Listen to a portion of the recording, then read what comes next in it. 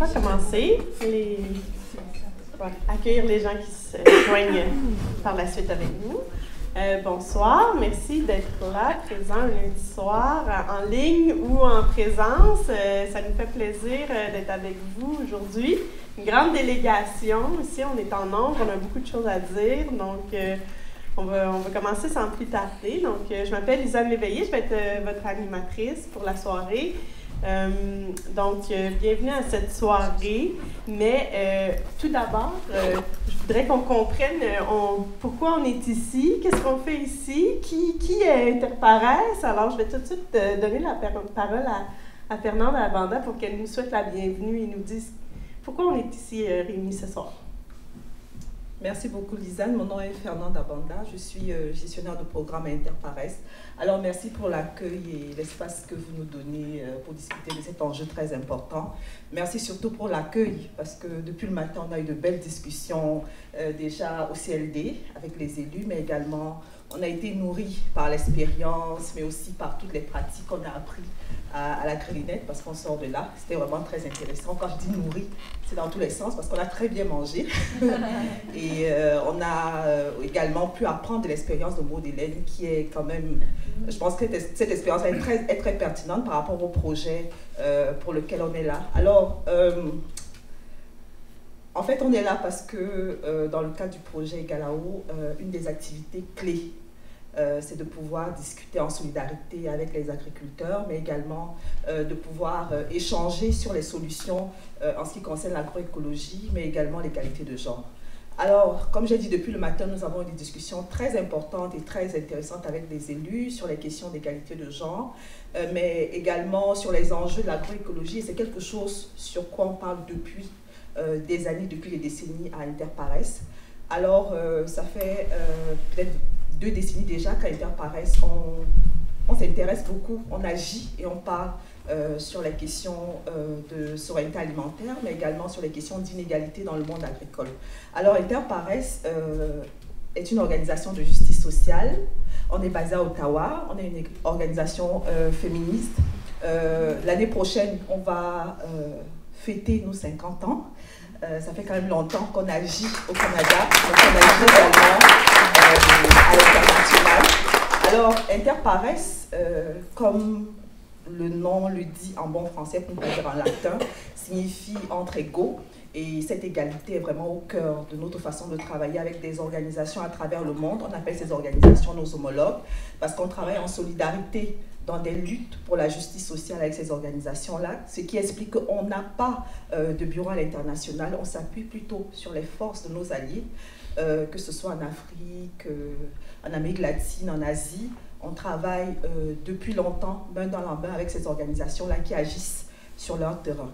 L'autre particularité d'Interpares, c'est aussi que l'égalité, ce n'est pas seulement dans la façon qu'on travaille les autres organisations, mais c'est également dans notre organisation en elle-même, parce que nous sommes non hiérarchiques, nous n'avons pas de chef, nous n'avons pas d'employés, donc nous sommes tous les patrons d'Interpares. C'est important de le dire parce que le féminisme euh, c'est quelque chose qu'on met en pratique dans notre structure, mais également dans la façon que euh, nous travaillons avec nos homologues, nos alliés euh, depuis des décennies.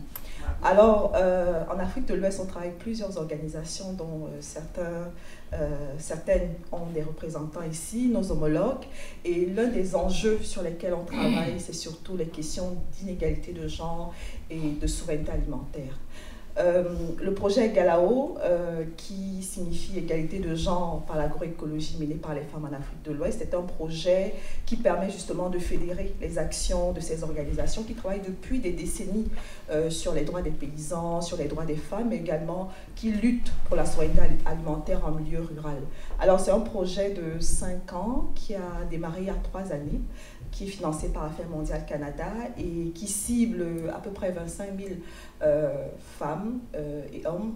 En majorité, ce sont des femmes du Togo, euh, du Burkina, du Sénégal, de la Guinée-Bissau, mais également il y a une dimension sous-régionale parce qu'on travaille avec une organisation qui s'appelle la Copagène, représentée par M. Sikeli ici, qui agit un peu plus dans la sous-région.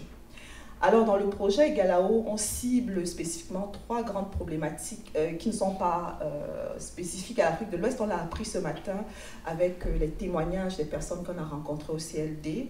Entre autres, l'accès des femmes à la terre. C'est un enjeu très important parce que le patriarcat et les racines des inégalités font que que ce soit en Afrique de l'Ouest ou même ici au Québec, on l'a appris ce matin avec des exemples très, très pertinents, les femmes n'ont pas toujours accès et le contrôle à la terre, surtout en milieu rural. Alors, dans le cas du projet Galao, on va cibler cette problématique-là. On va également travailler sur l'accès des femmes au marché, parce que c'est important que ces femmes qui cultivent puissent se transformer, puissent également avoir un, un circuit de commercialisation qui leur permet d'avoir des ressources, euh, euh, mais également des, revenus importants pour leur ménage. L'autre enjeu capital dans lequel on travaille pour ce projet-là, je pense que c'est même le pilier fondamental, c'est euh, la place des femmes dans la prise de décision. Et donc, à travers le projet Galao, on pense que c'est important de donner la place aux femmes, ces femmes agricoles, ces femmes rurales-là qui travaillent dans le monde agricole, dans ces pays-là, pour qu'elles puissent dire leurs enjeux, qu'elles puissent parler euh, également des solutions qu'elles portent, parce qu'elles sont souvent porteuses de solutions et, de, également de, de, transformations, mais qu'elles puissent influencer les politiques. Alors, euh, ces trois solutions-là reposent sur l'agroécologie.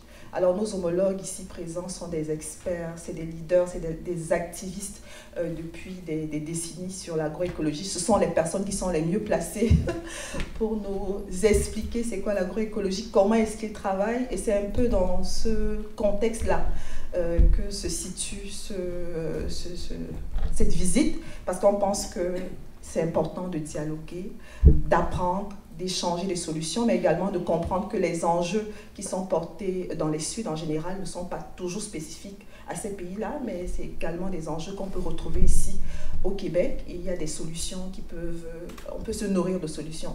Alors je vais terminer avec quelque chose de très important euh, dans le travail d'Interpares. Euh, c'est que nous travaillons avec ces organisations en collaboration, mais nous pensons que ce qui est très important, c'est de sensibiliser les Canadiens et les Canadiennes, les Québécois et les Québécoises sur la place que nos politiques, mais également que nos entreprises ont euh, dans la globalisation des inégalités. Alors il y a certainement dans certains pays à travers le monde, je ne vais pas citer le nom, j'imagine que vous avez l'actualité, euh, des entreprises canadiennes qui, au lieu de renforcer l'égalité, vont plutôt spolier les droits des femmes. Il y a euh, possiblement des politiques qui vont, au lieu de favoriser euh, l'accès des femmes aux droits, droit à la terre, vont plutôt renforcer l'accaparement des terres par des entreprises canadiennes ou alors des multinationales dans lesquelles les Canadiens et les Canadiennes investissent sans se rendre compte. Mm. Alors le travail que nous on fait euh, justement, c'est de pouvoir toucher les Canadiens. Dans ce projet-là, euh, on cible 40 000 personnes au Canada. à travers des activités d'engagement du public pour faire comprendre l'importance de la solidarité et aussi de connaître ces contextes-là, ces problématiques qui nous touchent tous et de savoir comment on se mobilise en tant que Québécois et Québécoises euh, pour faire face à ces enjeux. J'ai été un peu trop longue. J'espère que je n'ai pas dépassé 5 minutes. Alors, euh, c'est ça. Merci beaucoup pour l'accueil. Merci d'être là et euh, merci.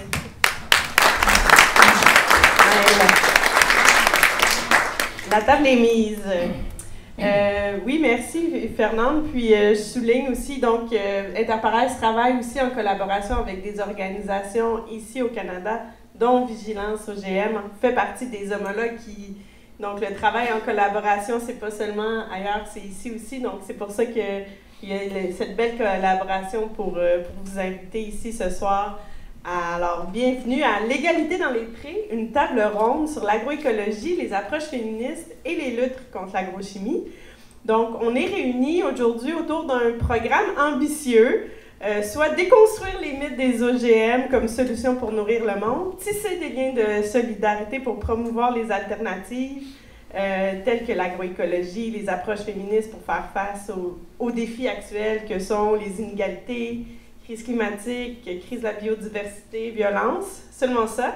Et ça, par des, euh, on va avoir des, regards croisés sur les résistances au Canada puis dans divers pays d'Afrique de l'Ouest. Euh, on a un, un, un, panel nombreux et de qualité avec nous ce soir. Donc, je vais, je vais vous les présenter brièvement en désordre. Donc, on a Adam, Monsieur Adama Soulama qui coordonne le projet Galaou dont nous a parlé Fernande à Inades Formation au euh, Burkina Faso. Donc, il, œuvre pour l'amélioration des, conditions de vie des communautés rurales au Burkina Faso. Il se distingue par son engagement à promouvoir l'autonomisation des femmes rurales. On a aussi euh, Mariamé euh, Ouattara, qu'on appelle, qu'on surnomme aussi Maman Copagène, que vous connaîtrez euh, euh, plus, en profondeur ce soir. C'est notre experte en, en, genre et développement, l'experte du genre du projet Egalao. Elle travaille depuis une trentaine d'années au Burkina Faso, en Afrique de l'Ouest, pour la, la promotion de l'égalité des genres et la promotion des droits des femmes paysannes. On a aussi euh, M. Jean-Paul Sikeli, qui est le secrétaire exécutif de la Coalition pour la protection du patrimoine génétique africain, qu'on appelle euh, la COPAGEN, plus court. Euh, donc, il, se consacre à la gestion durable des ressources génétiques, puis à une gouvernance foncière équitable et inclusive, la résilience paysanne aussi face au changement climatique. On a aussi Mme Rugi Baldé, euh, qui est la coordonnatrice du projet Galao, mais aussi membre de euh, l'organisation de l'organisation Tinegena en, en Guinée-Bissau. Donc, euh, aussi, ces actions se, sont tous autour de l'autonomisation des femmes, l'égalité entre les genres, l'entrepreneuriat féminin en zone rurale. Des, je, pourrais faire une biographie très longue de chacune de ces personnes, mais vous discuterez avec eux à la suite. Alors, euh, Léonilde Pinto euh, qui est ingénieure agronome, membre aussi de l'équipe euh, Egalao de Tinegena. Donc, elle, se consacre vraiment à la recherche au conseil technique en agroécologie. Euh, on a aussi Mme Pauline Ndaye, qui coordonne le projet Egalao dans à l'organisation Endapronat au Sénégal. donc, elle est aussi chargée du, volet genre dans l'ensemble de l'organisation de Endapronat, puis a géré nombreux projets traitant de la sécurisation des droits fonciers, entre autres pour les femmes, et leur autonomisation économique et politique. Euh, on a aussi Célomé Adouci, euh, qui est directrice d'Inades euh, Formation Togo, donc une, une femme euh, engagée dans les actions de, de, développement depuis plus de 23 ans. Euh, elle est elle a intégré l'équipe d'Inades en 1999, donc et euh, fait la travail à la promotion sociale et économique des populations rurales. Et euh, finalement, euh, le, le, Canadien. Thibourin, merci d'être là, un militant écologiste, cofondateur de Vigilance OGM, qui s'intéresse aux problématiques liées aux OGM, aux pesticides, au contrôle coopératif qui sous-tend le, le modèle industriel.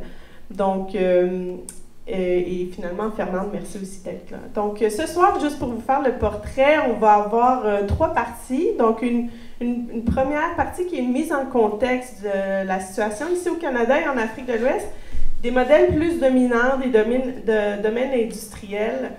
Puis, on va vite euh, transitionner vers plus la résistance à ces modèles dominants-là euh, avec nos partenaires ici présents. Puis, on va terminer avec une note un peu porteuse d'espoir, espérons-le. Euh, on va aborder plus l'agroécologie, les luttes féministes, puis voir quelles solutions ils nous proposent, puis quelles sont les, alternatives qui existent. Puis on va terminer, euh, on, espère garder un temps pour une période de, questions. D'ailleurs, les questions, on pourra les prendre en anglais. C'est un événement qui va se, dérouler en français ce soir, mais les questions pourront être traduites par la suite. Donc, euh, je passe tout de suite la, la parole à, à Thibault. Là. Mythe OGM, c'est quoi ça un mythe OGM? Pourquoi c'est un mythe? Qu'est-ce que ça veut dire ici au Québec et au, Canada, le, le mythe OGM? Ben, merci beaucoup, bonsoir à tout le monde. Euh, ben déjà, je, je, tiens à dire que je suis vraiment impressionné avec le panel qu'on a ce soir. C'est rare que je me retrouve avec euh, des leaders et leaders d'Afrique de l'Ouest qui militent pour euh, une agriculture paysanne entre les mains des, des paysans et qui permet aussi de se débarrasser un peu de la mainmise des multinationales, autant de leurs produits que de leur influence que que tous leurs impacts. Donc, je suis, je, suis, vraiment content d'être là ce soir. Donc, je m'appelle Thibaut Rennes, je suis coordinateur de Vigilance OGM. qui a déjà entendu parler de Vigilance OGM dans la salle? Ouais on a des fans? Bon, ben, Vigilance OGM sont un petit organisme. On est déjà trois dans la salle. Et on a une quatrième qui est à Bécomo. Et on est un petit organisme qui existe depuis 10, 12 ans maintenant. Euh, et qui essaie de faire la sensibilisation sur les OGM et les pesticides. Et aussi d'expliquer un peu le modèle qui sous-tend et les impacts que ça a. Euh, on est basé, donc notre siège international est basé à Sutton. Euh, donc, euh, c'est vraiment, j'aime dire ça parce qu'on est le seul endroit.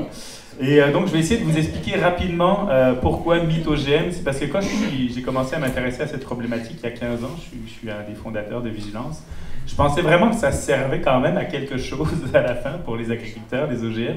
Et on s'aperçoit qu'il y a toute une façon de penser véhiculée par, euh, bah, bien sûr les entreprises, mais aussi par nos gouvernements et par beaucoup de personnes qui pensent que les OGM nourrissent le monde. Et je pense qu'on va avoir des bons exemples ce soir qui vont expliquer que ça nourrit euh, pas ici, mais ça nourrit pas non plus l'Afrique. Et donc, je vais essayer de vous l'expliquer rapidement. En gros, en quelques chiffres, donc il y a cinq pays qui produisent 92% des OGM dans le monde. On a bien sûr les États-Unis, on a euh, bah, la déforestation au Brésil et en Argentine où on fait du soya pour exporter, pour nourrir le bétail dans le monde. Et on a le Canada qui est le quatrième pays producteur mondial, qui fait principalement du canola dans les prairies, mais aussi du soya et du maïs euh, au Québec et en Ontario. Donc quand vous baladez sur la 20, 90% des champs que vous voyez, c'est du maïs OGM et 75% à peu près euh, du soya est OGM. Donc euh, c'est la principale culture au, Canada. au Québec. 60% des terres cultivables sont faites pour euh, faire des OGM. Donc ça c'est le chiffre 5. On a aussi deux. Deux, en fait, dans le monde, il y a deux. Pourquoi on fait des OGM Une, c'est pour résister à des... enfin, tolérer des, des pesticides. Donc les fameux Roundup Ready, mais maintenant on tolère plusieurs herbicides parce qu'on s'aperçoit qu'il y a des plantes résistantes. Et une autre modification, c'est pour sécréter son propre insecticide, donc ce qu'on appelle le maïs BT ou le coton BT.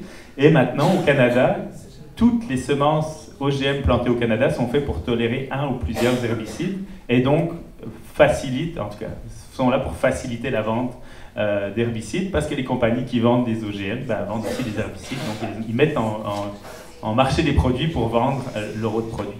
Et l'autre chose qu'il faut savoir, c'est qu'il y a quatre cultures OGM dans le monde. Donc il n'y a pas de fruits et légumes, en tout cas par certaines exceptions. Donc on parle du soya, qui représente 50% du, euh, des OGM dans le monde. On parle du maïs, à peu près 30%, et on parle du canola, parce qu'il y a le Canada qui est principalement le producteur, et du coton. Donc, avec ces quatre cultures-là, qu'est-ce qu'on fait principalement? Les deux grandes, maïs et soya On nourrit du bétail et on nourrit des voitures. Donc, euh, les autres panélistes reviendront là-dessus, mais il n'y a, rien là-dessus pour nourrir le monde. Et donc, on essaye de, nous faire croire que c'est l'agriculture productiviste qui est là pour nourrir les, gens dans le monde. Mais on s'aperçoit que les statistiques nous montrent que c'est encore l'agriculture vivrière en Afrique ou en Asie qui nourrissent le monde, et bien sûr sans les impacts sur euh, la santé, moins les impacts des ressources, l'eau, le sol et autres. Bref. Euh, si jamais vous voulez plus d'informations, des petits guides OGM. Donc, je m'arrête sur ces chiffres-là.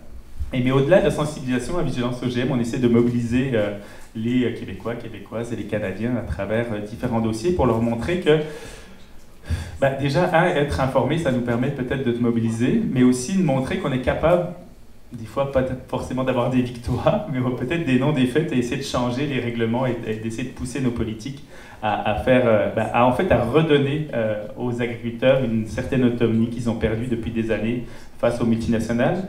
Donc, euh, on dénonce principalement la perte d'autonomie des agriculteurs, mais aussi les impacts des OGM et des pesticides. On dénonce le manque de transparence, surtout, qui est vraiment flagrant dans les systèmes d'évaluation. Et on dénonce la capture réglementaire aussi. Donc, la capture réglementaire, c'est vraiment à quel point. Moi, je fais beaucoup de demandes d'accès à l'information, et donc je lis les courriels que les, je dirais, les fonctionnaires s'échangent avec les lobbyistes. Et en fait, il y a un mélange des genres où on ne sait plus qui est lobbyiste de qui à un moment donné, on ne sait plus ils viennent de la même culture. Il y a le phénomène des portes tournantes, où d'un seul coup, tu travailles à Santé Canada et après, tu travailles au principal lobbyiste. Et ça, c'est vraiment des choses qu'on essaie de dénoncer et de mettre en image ou de sensibiliser les gens. Et aussi, on, a, donc on, fait différentes campagnes de sensibilisation par rapport à ça. Et on se retrouve étrangement à être, je dirais, le principal groupe au Canada à lutter sur les pesticides OGM, ce qui est un peu étrange quand on a un peu le sentiment d'imposteur, euh, comme moi des fois j'ai l'impression. Mais euh, c'est ça, on est étrangement peu de groupes à travailler là-dessus. Il y a six bannes au Canada où ils sont deux employés et nous pratiquement quatre. Donc je vais m'arrêter là, je vais laisser la parole aux super panélistes qui ont fait un long chemin pour nous montrer. et je suis vraiment content d'apprendre de leur discours pour voir quelle solidarité on peut tisser aussi entre le, Canada et l'Afrique de l'Ouest. Donc merci. Ben, on voulait justement que tu mettes la table parce que je pense que ça va, euh, ça, ça, résonne peut-être euh, chez, chez, les, chez, nos panélistes. Donc, ma première question pour ce, cette mise en contexte, je l'adresserai à, à M. Sikeli, justement. Euh, quand j'ai entendu Thibault, ça me fait penser à. Je sais qu'il y a une citation que vous avez dit, je me suis dit, c'est sûr qu'il fait des parallèles. Alors, vous avez déjà dit, les OGM ne sont pas une solution pour nourrir le monde. La faim est une question économique et politique ce n'est pas une question de rendement. Donc, en, sachant ça, j'imagine que à l'écoute de Thibault, c'est des, choses qui résonnent. Alors, euh, si M. Sikeli, vous pouvez nous parler, euh, est-ce que la, révolution verte vraiment s'est tenu ses promesses en, Afrique? Ça n'a pas besoin d'activer. Merci. Euh, moi, c'est Jean-Paul Sikeli. Je suis de la Copagène, je suis le secrétaire exécutif de la Coalition pour la protection du patrimoine génétique africain, la Copagène et je suis euh, basé en Côte d'Ivoire, précisément à Abidjan. Euh, alors, je vais très rapidement présenter la Copagène. La Copagène, c'est une mosaïque d'associations de la société civile euh, représentée dans neuf pays, les huit pays de l'espace UEMOA et la Guinée, puisque la Guinée ne fait pas partie de cet espace-là. L'UEMOA, c'est l'Union économique monétaire de l'Afrique. donc, euh, la Copagène a euh, travaillé sur plusieurs thématiques. Et nous disons généralement que euh, l'ADN la Copagène, c'est la lutte contre les OGM. Donc la, la Copagène a été portée sur les fonds baptismaux en réaction aux OGM. Donc nous sommes foncièrement, fondamentalement contre les OGM. Mais je vais expliquer pourquoi nous sommes contre les OGM par après. Et la Copagène euh, nous luttons contre certaines, menaces euh, qui pèsent sur les droits des communautés à jouir de, librement de leurs de, droits aux ressources naturelles, notamment l'accaparement des terres. Et nous ne faisons pas que dénoncer, nous proposons aussi des solutions durables euh, en agriculture, notamment faisons la promotion de ce qu'on appelle l'agriculture familiale, les semences paysannes et puis l'agroécologie mais nous faisons la promotion de l'agroécologie paysanne. Nous faisons bien de mettre le qualificatif paysanne parce que nous avons constaté que depuis un certain temps, euh, l'agroécologie est sortie de l'ornière. Et je pense qu'on peut vraiment faire un historique. Hein. Euh, avant 2010, euh, on avait constaté que l'agroécologie n'avait pas le vent en poupe, on n'en parlait pas trop. Mais après un discours historique de Olivier de Schutter, qui est l'ancien rapporteur des Nations Unies sur le droit à l'alimentation, euh, il y a 400 scientifiques qui sont ralliés à cette cause-là. Et depuis ce temps, on a senti que vraiment il y avait une effervescence autour de la promotion de l'agroécologie. À partir de là, les multinationales ont commencé à s'y intéresser et à, vraiment euh, faire la promotion d'une certaine agroécologie qui n'est pas celle que nous défendons. C'est pour ça que nous, nous prenons la précaution de parler d'agroécologie paysanne. Donc, euh, ceci étant, je vais dire que, en fait, nous sommes fondamentalement contre les OGM. Nous sommes fondamentalement contre les OGM parce qu'il y a une constellation d'enjeux et des risques qui sont liés aux OGM. Euh, les OGM euh, comportent des risques sanitaires. Bon, les risques sanitaires, on peut, on peut spéculer là-dessus. On peut spéculer là-dessus, les risques sanitaires, c'est vrai. Mais je vais dire qu'il y a des études qui ont montré que les OGM pouvaient exposer à des, à des cancers, à des tumeurs cancéreuses. Et il y a eu plusieurs études. L'étude la plus célèbre, c'est celle du professeur Gilles-Éric Serralini, qui a nourri en fait des rats avec du maïs transgénique. Et ces rats-là ont développé des tumeurs cancéreuses. Mais vous voyez, les lobbies ont, ont, fait pression, ont influencé en fait les décisions de la Commission européenne. Et cette étude a été invalidée. Mais avant lui, il y a eu euh, un certain docteur Abai Poutsai qui a fait les mêmes études et il a abouti au même résultat. Après lui, il y a d'autres personnes. Mais nous savons bien pourquoi les gens euh, tente d'invalider vraiment ces études-là. C'est parce qu'il y a de gros sous en jeu. Donc, comme je le disais, on peut spéculer sur les risques euh, sanitaires, mais il y a des risques sur lesquels on ne peut pas spéculer. C'est les risques écologiques. Les OGM ont la possibilité de coloniser en fait des, des champs non OGM. Et le cas le plus emblématique, c'est celui du paysan canadien qu'on appelle Bessie Schmeiser, qui faisait du colza euh, euh, naturel, et il y avait quelqu'un d'autre qui faisait du colza transgénique, et son champ de colza transgénique a euh, contaminé celui de Bessie Schmeiser. Mais c'est le, en fait celui qui, qui, cultivait le colza transgénique là, qui a été en justice contre Bessie Schmeiser. Et il a été amené, comment dire, à payer vraiment des, royalties. Vous voyez combien de fois euh, on peut vraiment renverser les choses. Nous pensons qu'ici, il y, a, une injustice quand même. Donc, euh, euh, je, vais dire aussi que le risque le plus évident pour nous, hein, c'est que les OGM créent une dépendance en fait des, paysans vis-à-vis vraiment des films semenciers. Parce que chaque année, il fallait, il fallait vraiment acheter ce, ce, paquet technologique de semences OGM, mais avec en fait, les, les, produits qui vont avec, ce sont les engrais chimiques, ce sont les, les pesticides. Donc, c'est tout un paquet technologique. Alors, pour parler de la révolution verte, nous pensons que la révolution verte est un échec. Et pour comprendre la révolution verte, c'est quoi? C'est le modèle agricole qui a été euh, inventé pour faire euh, face vraiment à la crise alimentaire d'après la guerre, les, guerres mondiales, les guerres mondiales.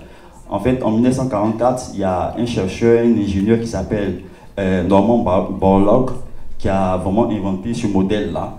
Et ce modèle a trois piliers. C'est quoi? C'est l'utilisation euh, des intrants chimiques, ce sont les pesticides, ce sont les engrais, la chimie de synthèse. C'est l'utilisation aussi euh, des semences à haut rendement et c'est l'utilisation du machinisme, c'est-à-dire la mécanisation. Mais nous nous rendons compte que euh, au départ, vraiment, euh, la révolution verte avait permis à certains pays comme le Mexique, qui était en déficit alimentaire, de sortir en fait de la crise. Mais depuis les années 70, on se rend compte que les rendements ont baissé de manière euh, drastique et jusqu'à maintenant. Donc ce, modèle-là ne peut pas nourrir en fait le monde. C'est un modèle qui aujourd'hui est épuisé. Et ce modèle-là a généré en fait beaucoup de mots. C'est un modèle destructeur. Il a généré beaucoup de mots parce que, en fait, il a transformé les paysans en ouvriers agricoles. En plus de ça, ce modèle, avec l'usage excessif des pesticides, des engrais chimiques, a, vraiment pollué en fait l'environnement, a souillé les nappes phréatiques. Et il a créé des, l'exode rural massif. Donc c'est un modèle qui n'est pas viable. Et j'ajoute pour dire que c'est un modèle mortifère. Pourquoi je le dis? Parce qu'en réalité, certains produits comme le DTT, qui ont été utilisés comme des agents pour tuer, en fait, au cours des guerres, ont été reconvertis comme des pesticides. Les tracteurs eh, sont issus vraiment des tanks qui ont, été utilisés au cours de ces guerres mondiales-là. Donc c'est un modèle qui est potentiellement mortifère, ce n'est pas un modèle durable. Donc pour nous, il convient de sortir de, vraiment de ce modèle-là. Euh, ce que je voulais dire, c'est qu'aujourd'hui, Thibault a parlé de la nécessité de déconstruire les mythes. Oui, parce qu'il y a un mythe qu'on met en avant pour promouvoir ce modèle. Je ne m'attaquerai pas seulement aux OGM, mais je m'attaquerai plus à ce modèle global-là, dans lequel on met les OGM, mais aussi on met les engrais, la chimie de synthèse. Oui, c'est un modèle qui est à bout, du, à bout de souffle. C'est un modèle vraiment qui ne peut plus euh, faire bonne recette aujourd'hui parce qu'il génère beaucoup, beaucoup, beaucoup de mots. Donc je pense que c'est un mauvais diagnostic qu'on fait quand on dit qu'en réalité, aujourd'hui, euh, il faut produire plus. C'est un mauvais diagnostic parce que la crise alimentaire telle qu'elle est vécue aujourd'hui n'est pas tant liée vraiment au déficit alimentaire.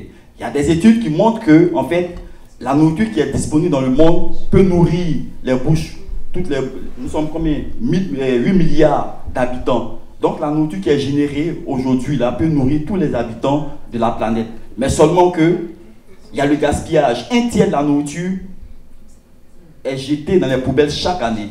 si on pouvait un temps soit peu répartir équitablement cette nourriture, je pense que chacun aurait manger. L'autre problème lié à la crise alimentaire, c'est que les denrées, par exemple, quand, on fait sortir les denrées, ces denrées atterrissent sur la route.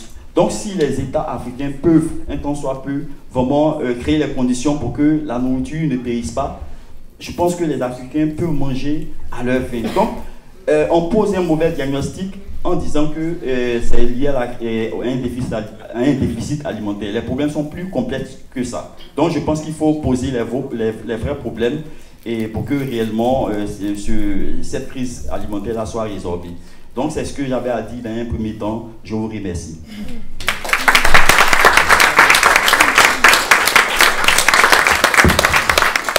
Je crois que ça, met très bien la table les, failles de ce modèle existant-là. Puis, je crois que vous avez ouvert la porte déjà à notre deuxième partie, qui est la partie de résistance. Donc, qu'est-ce qu'on, je crois que ce modèle-là ne rentre pas euh, si facilement que ce soit en Afrique de l'Ouest. puis on, résiste, on crée des organisations, des actions, des réseaux. Euh, ben, je, je, passerai la parole euh, tout de suite à, Pauline. Je crois que l'organisation, en fait, Endaprenat, elle est née, non, d'une résistance, justement, en réaction aux pesticides et à ce modèle-là. Est-ce que vous pouvez nous parler de la genèse de, de vos actions? Bonjour, Lisanne. Euh, bonsoir aux participants et participantes de la salle. Bonsoir également à toutes les personnes qui nous suivent en ligne à travers les réseaux sociaux. C'est un immense plaisir de participer à cette table ronde pour euh, justement lancer un grand plaidoyer par rapport à tous ces modèles qu'on veut nous vendre par rapport euh, comme solution au système alimentaire. Donc je ne reviendrai pas sur euh, tout ce que M. Sikeli a dit concernant les failles de ce modèle productiviste euh, qui, en quelque sorte, a été à la base de la création de notre organisation qui s'appelle ENDA Pronat. ENDA comme Environnement, Développement, Action, qui est membre du réseau ENDA Tiers Monde, qui est un grand réseau très avant-gardiste sur certaines thématiques depuis les années 70-80 des thématiques qui sont aujourd'hui d'actualité.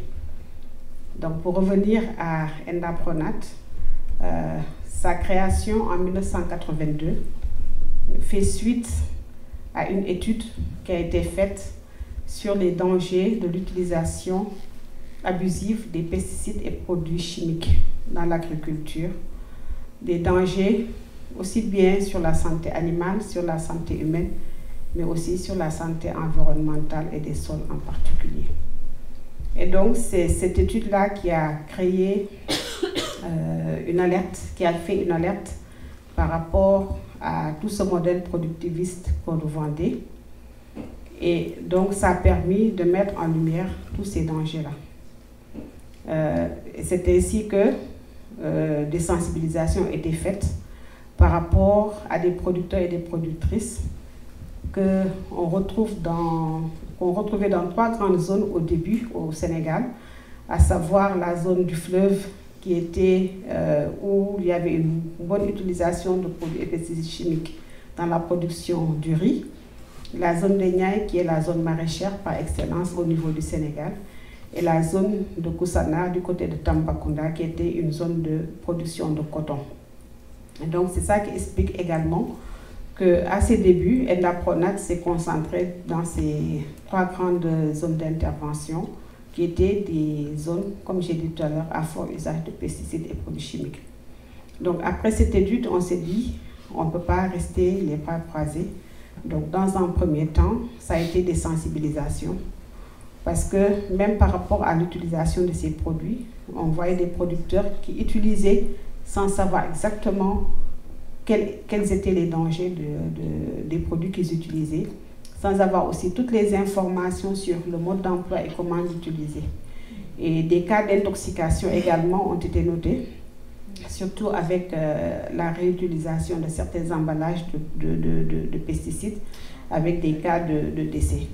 Et donc, toutes ces sensibilisations-là faites dans ces zones a finalement porté, a amené une prise de conscience des producteurs et des productrices qui nous ont dit, bon, vous nous dites c'est pas bon, nous aussi on a trouvé des cas, mais qu'est-ce qu'il faut faire?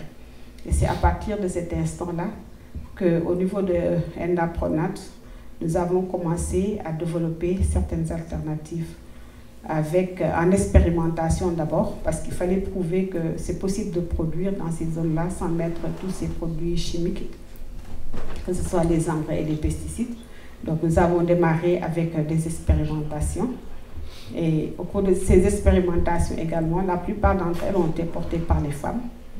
Euh, donc pour dire voilà tout ce rôle-là que les femmes ont, joué dans, dans cette, dans cette agriculture autrement. Et donc, à partir des expérimentations sur voilà, comment produire, euh, sur les techniques euh, de fertilisation, mais également sur les techniques de production. Euh, donc, c'est là où Endapronat a fait son chemin jusque-là. Et au début, un peu toute seule, hein, à contre-courant de tous ces, ces modèles-là qui est vendu extérieur.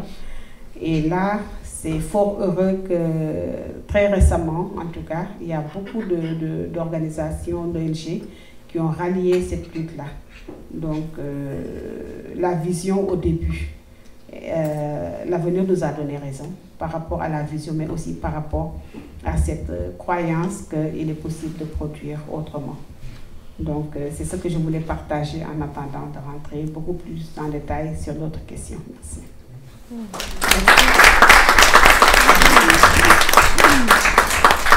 Donc, on parle de la création en, résistance. Euh, ici, on a euh, Mariami Ouattara, qu'on surnomme Maman Copagène parce qu'elle était là à la naissance de la Copagène. Euh, justement, est-ce que, la Copagène, c'est pas ça, la naissance de la Copagène, une, une naissance d'une résistance commune, ensemble, pour résister à ce modèle-là? Donc, parlez-nous de la genèse de cette coalition. Merci, Lisanne. Bonsoir à tous et à toutes. Euh, je m'appelle Mariame Ouattara, je suis du Burkina Faso. Alors, effectivement, la copagène est née pour résister euh, à certaines pratiques, comme euh, Sikeli l'a dit, mais aussi pour sensibiliser, informer, encadrer, éduquer et accompagner et faire des plaidoyers. Alors, comment cette structure a pu voir le jour?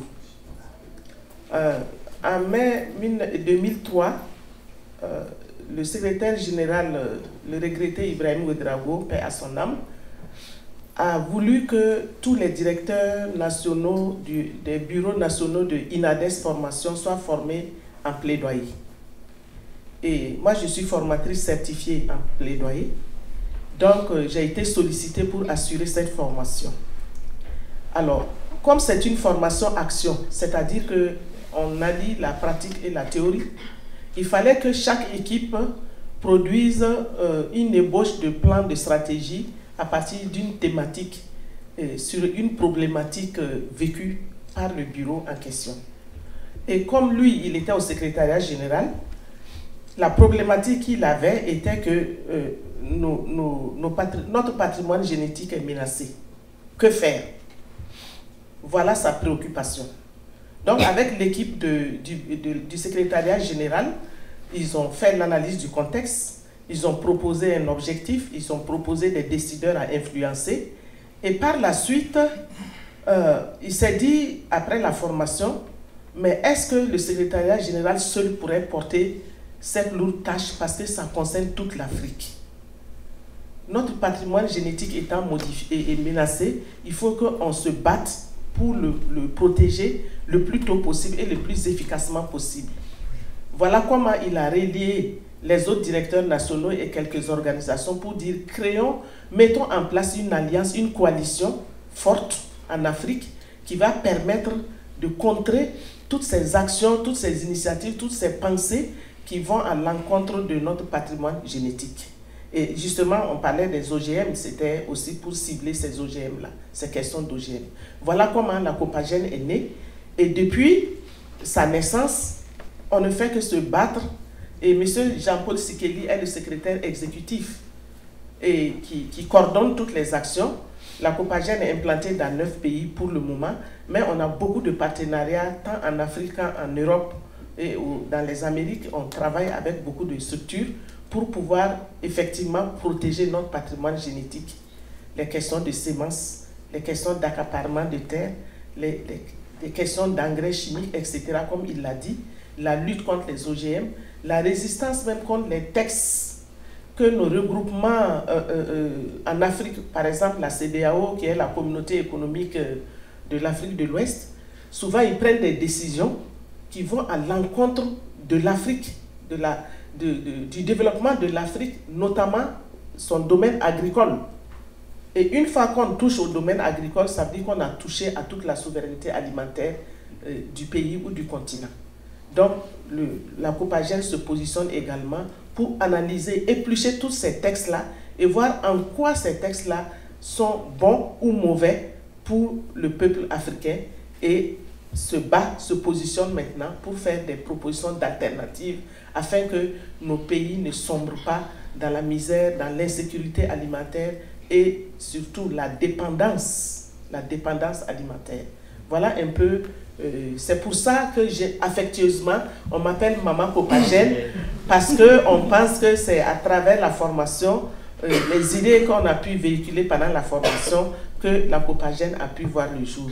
Donc, euh, mon bébé grandit bien, il a bien grandi, il est en train de s'affirmer sur le plan mondial et il a récolté pas mal de résultats concrets positifs.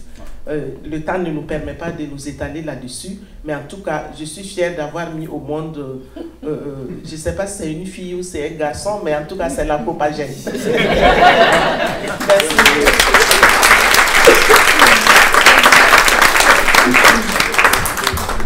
Euh, Thibault, je pense qu'on a beaucoup à apprendre de, des façons de résister qui, qui, sont en Afrique de l'Ouest. Est-ce qu'il y a quelque chose qui résonne ici chez toi? Comment on? Comment toi tu résistes ici? Euh, je sais que les, thématiques des lobbies, tout ça, c'est, euh, une des préoccupations qu'on a euh, principalement. On, en a parlé un peu, mais dis-moi comment ça résonne le discours de résistance. Ben, déjà, j'aime le fait d'enfanter quelque chose. Euh, je sais pas, ben, je sais pas si Vigilance OGM est une fille ou est un garçon ou non genré, je sais pas, mais on, est, c'est ça. Euh, ben, c'est sûr, ça résonne parce qu'on s'aperçoit que c'est un peu les mêmes mécanismes qu'on essaie de mettre en place. Euh, c'est premièrement passer par la mobilisation. Euh, l'analyse des textes de loi, c'est tellement du travail et de la recherche. Nous, on essaie de se concentrer avec nos faibles capacités, malheureusement, sur certains aspects, j'aimerais euh, revenir sur l'un, c'est les recherches qu'on fait à travers les demandes d'accès à l'information. Euh, je ne sais pas si vous savez, mais en fait, tous les gouvernements, euh, les différents instituts, autant au fédéral qu'au provincial, on peut demander les courriels, les échanges de courriels entre un tel lobbyiste et telle l'Agence d'inspection des aliments, Santé Canada. Bon, ça peut prendre du temps et ça peut être beaucoup claviardé, mais ça nous permet des fois d'obtenir de l'information. Et donc, à travers ces recherches et, et ces demandes d'accès à l'information, on obtient des fois des, des choses intéressantes qui sont, en fait, les lobbyistes souvent font du travail euh, en coulisses ou un peu caché. Notre but, c'est de mettre de la transparence sur, ces, sur, leurs pratiques et sur leur façon de faire et leurs euh, techniques un peu qui viennent euh, accaparer, comme on disait, la capture réglementaire. En fait, faire des lois qui profitent à une poignée de multinationales au lieu normalement démocratie qui profite à l'ensemble des, dans ce cas-là, des Canadiens Canadiennes. Et donc, on essaie de beaucoup travailler avec les journalistes aussi, parce qu'on a beau écrire un blog sur notre site. Euh, malheureusement, il n'est pas tant vu que ça. Et on, aide, on, travaille beaucoup en collaboration avec les journalistes qui aident, bien sûr, à faire sortir les dossiers. Et euh, c'est sûr qu'après 10-15 ben, ans, on a une certaine légitimité, je dirais, crédibilité qui nous permet de, ben, de, de, travailler avec ces journalistes-là. Euh, j'aime beaucoup la formation en plaidoyer. Donc, s'il y a des professeurs, par exemple, à l'université de l'UCAM, par exemple, peut-être mettre en, place un micro-programme de plaidoyer. Je pense qu'on a plus besoin de gens qui font du plaidoyer au, Québec et au Canada. Euh, et on essaie à Vigilance de faire une cartographie des acteurs, parce que plus on fouille, ben, moi j'ai la chance, en tout cas, de, travailler dans quelque chose qui me passionne et qui, qui m'inspire et qui, qui, me nourrit. Mais plus je recherche, plus j'aurais envie de rechercher, mais malheureusement j'ai pas tout le temps en même temps. Mais voir que toutes les organisations, des fois c'est des façades, des fausses organisations, des fausses ONG, où on nous fait croire que c'est des agriculteurs qui sont représentés, mais en même temps tu regardes son conseil d'administration, c'est juste Bayer, Syngenta, Monsanto, enfin, c'est toujours les mêmes en fait. Et tu sais, des, des, des, des, principes de porte tournante, comme je disais tout à l'heure, donc essayer de faire la cartographie, ça je pense c'est important. Et euh, bah, pour revenir un peu à ce qui se passe ici, euh, j'ai fait une demande d'accès à l'information, je pense, l'année dernière, et euh, on avait des échanges de, je pense, une fonctionnaire de l'Agence d'inspection des aliments qui, qui voulait, en fait, il y avait une demande du Sénégal pour, bah, pour, pour promouvoir l'agriculture canadienne et voir les bons coups du Canada. Et donc, ils étaient invités au Sénégal pour représenter un peu les bons coups du Canada. Et donc, cette fonctionnaire, tout enthousiaste, s'est dit bah, comment on va représenter l'agriculture canadienne? Et on voit dans ces échanges de courriel qu'il écrit à, à CropLife, donc qui est le principal lobbyiste des pesticides, et pour leur dire Oh, vous devez venir avec nous absolument, on, a une, on doit aller former le Sénégal. Et donc, elle invite dans sa délégation canadienne le principal vendeur de et de pesticides à travers ça. Euh, et, donc, c'est là où je dis le mélange des genres est assez, assez euh, préoccupant, c'est qu'on ne sait plus qui invite qui, qui est le lobbyiste de qui, parce que le gouvernement canadien ouvre les portes aux lobbyistes pour en fait promouvoir leurs produits, euh, là, dans ce cas-là au Sénégal. Et donc, à travers les demandes d'accès à l'information, des fois on a des, petites choses. Après, c'est difficile de, tout synthétiser, bah, je dirais vendre aux journalistes, mais c'est ce qu'on essaie de faire. Donc je suis content d'entendre ça. J'espère que bah, ce panel-là va se poursuivre aussi pour, pour voir quel type de collaboration on peut faire dans le futur, parce que je pense qu'on vit les mêmes luttes avec bien sûr des aspects très différents sur euh, politique et autres, mais il y a quand même les, mêmes acteurs et les mêmes mythes véhiculés dans nos deux pays. Donc, euh, donc voilà.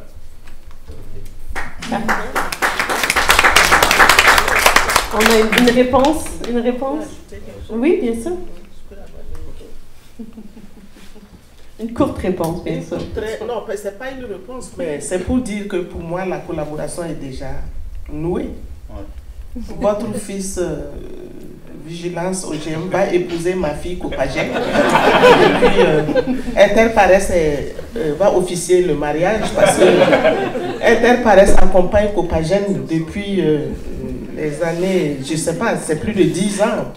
Oui, plus de 10 ans que Interpares nous accompagne. Et vraiment, malgré sa modestie, permettez-moi de, reconnaître à Eric son engagement sa combativité et sa constance dans le soutien au, à Copagène. Parce qu'il n'est pas au Canada seulement. Euh, Eric, Eric euh, il est partout dans les neuf pays de, de la Copagène.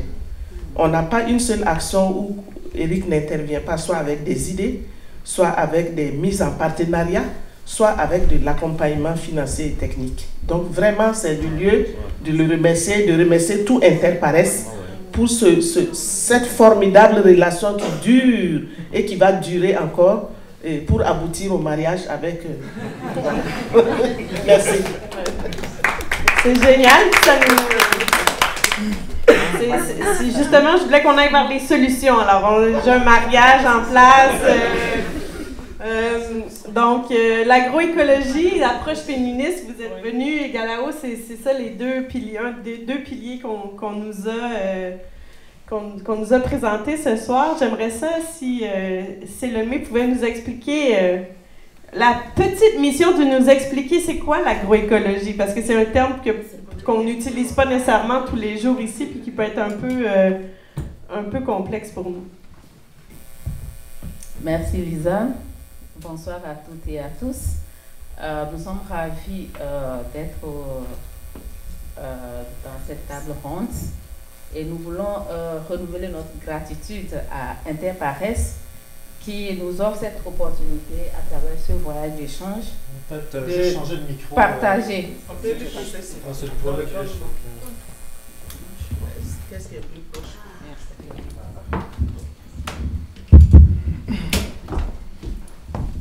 De, partager euh, les expériences de nos pays, mais aussi de nous enrichir euh, par les expériences qui sont vécues ici. Et moi, c'est Ruth Selom Adouci. Je suis économiste de formation. Je suis la directrice d'Inades Formation Togo. Et Inades Formation Togo est membre du réseau Inades Formation International qui est présent dans 10 pays africains. Et dans ces dix pays africains, nous travaillons sur quatre champs thématiques importants. Et le tout premier, c'est la promotion des systèmes alimentaires basés sur l'agriculture familiale. Et le second champ d'action, c'est tout ce qui concerne les questions euh, de protection de gestion de l'environnement euh, dans le contexte de changement climatique. La troisième thématique porte sur euh, les questions de gouvernance inclusive et de la décentralisation. Et la quatrième thématique porte sur la microfinance communautaire. Et ce sont des thématiques qui ne sont pas isolées. Et si nous voulons parler ici du travail que nous faisons, Inades Formation depuis l'origine, a commencé par la formation sur les pratiques agricoles. Et déjà depuis 1960-62, euh, nous avions des cours par correspondance et une série de documents écrits euh, dans un langage assez facile et intitulé Produire sans détruire. Euh, je fais cette parenthèse parce que c'est assez important. L'agroécologie n'est pas nouveau à Inades Formation. Et alors, définir l'agroécologie, euh, c'est complexe, mais c'est assez, euh, en fait, par rapport à ce que l'on vit, c'est assez simple parce que aujourd'hui, la visite que nous avons faite sur cette ferme résume tout. C'est un mode de vie. Pour, pour moi, c'est un mode de vie. Et il y a trois dimensions importantes lorsque nous parlons de l'agroécologie. Il y a la dimension écologique, la dimension économique et la dimension sociale.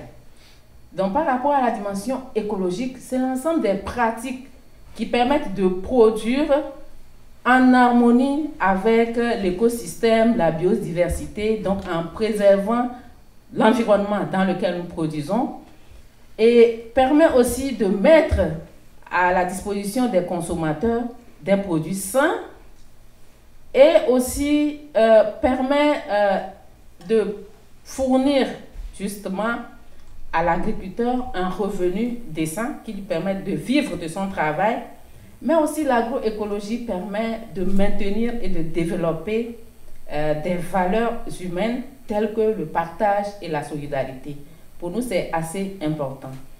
Et l'agroécologie, c'est l'ensemble de ces pratiques qui permettent justement euh, de valoriser, de préserver des savoirs et des savoir-faire. Et en parlant de savoir et de savoir-faire, euh, quand nous prenons euh, pour certains, en tout cas dans nos pays, les femmes, les femmes sont ces actrices-là qui, qui, qui, qui préservent et qui transmettent ces savoirs et ces savoir-faire notamment euh, par rapport à la question des semences. Euh, les femmes sont des actrices qui sont euh, très impliquées dans la récolte, le traitement et la préservation des semences locales, dans la transformation des produits, etc. Et donc, c'est pour ça que pour nous, le, le projet Egalao permet vraiment de renforcer, de consolider ce travail que nous sommes en train de faire. Et nous nous disons que oui, euh, à travers les interventions de Sekeli et de Maman Copagène, pour nous, l'agroécologie peut nourrir le monde. L'agroécologie, ce n'est pas que qu'une solution, mais c'est la solution. Dans un contexte de changement climatique, l'agroécologie, c'est la solution. Pourquoi? Parce qu'elle permet de produire euh, sainement, donc de mettre à la disposition des consommateurs des produits sains et respecte l'environnement.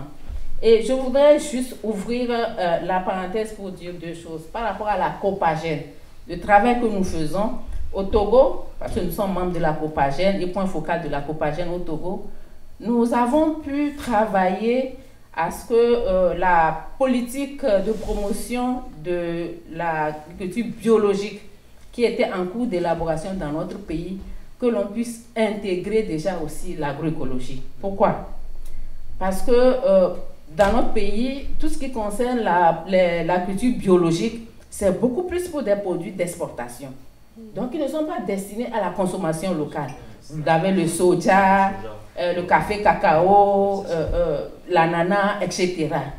Et nous disons que nous produisons ce qui est bien pour exporter et même nous-mêmes, nous consommons des produits qui nous tuent. Parce qu'il y a beaucoup de maladies je crois ma collègue du Sénégal, elle a parlé de l'étude sur les pesticides chimiques. On en a fait aussi au Togo. Et donc, pour nous, la Copagène a pu travailler à faire des propositions par rapport à cette stratégie-là, même si elle n'est pas encore adoptée. Et c'est pour cela que nous pensons que nous devons, nous, organisations de la société civile, éveiller les consciences citoyennes pour que nous puissions travailler à faire, à mener nos États à adopter des politiques de promotion de l'agroécologie. Pas seulement adopter, mais à les mettre en œuvre. Parce qu'une chose est d'adopter la politique, une autre est de vraiment de la mettre en pratique, de créer des conditions pour que cette politique-là puisse être opérationnelle. Euh, pour terminer, justement par rapport à la question des pesticides chimiques de synthèse, euh, au niveau d'Inades Formation, nous avons une campagne que nous avons dénommée campagne Conscience alimentaire qui vise, un, à éduquer, à sensibiliser les consommateurs, les producteurs sur les effets nocifs de l'utilisation des intrants chimiques euh, de synthèse dans la production agricole, mais aussi à faire du plaidoyer pour que au niveau de nos États, la réglementation puisse être appliquée et que, euh, par exemple, au Togo, euh, il y a des lois qui sont là, mais dans la pratique, ces lois ne sont pas appliquées parce que les services qui sont en charge de, la réglementation disent qu'ils n'ont pas les moyens. Donc nous essayons de faire ce plaidoyer pour que euh, les services de l'État qui doivent veiller à, contrôler euh, tout ceci puisse être fait, mais aussi nous faisons, la, disons, nous faisons le plaidoyer pour que l'État puisse s'investir davantage dans la promotion des intrants organiques. Donc, à travers tous les échanges depuis ce matin, nous voyons que nous vivons les mêmes problèmes et nous sommes heureux de savoir qu'il y a des luttes qui se mènent ici. Et, comme euh, les uns les autres nous l'ont dit tout à l'heure, c'est de développer vraiment cette synergie pour cette cause commune. Donc l'agroécologie, c'est la solution. L'agroécologie peut nourrir sainement et durablement le monde. Je vous remercie.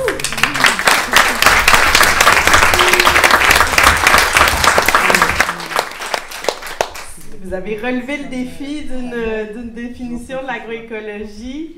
Euh, merci beaucoup. Euh, donc, on voit vraiment l'agroécologie, c'est une solution globale. Là, je sais qu'on a, on a une agronomiste euh, parmi nous, Léonildé, du Guinée-Bissau. On n'a pas entendu de Guinée-Bissau jusqu'à maintenant. Là, ils sont là. On, on, on, va avoir besoin d'interprètes aussi.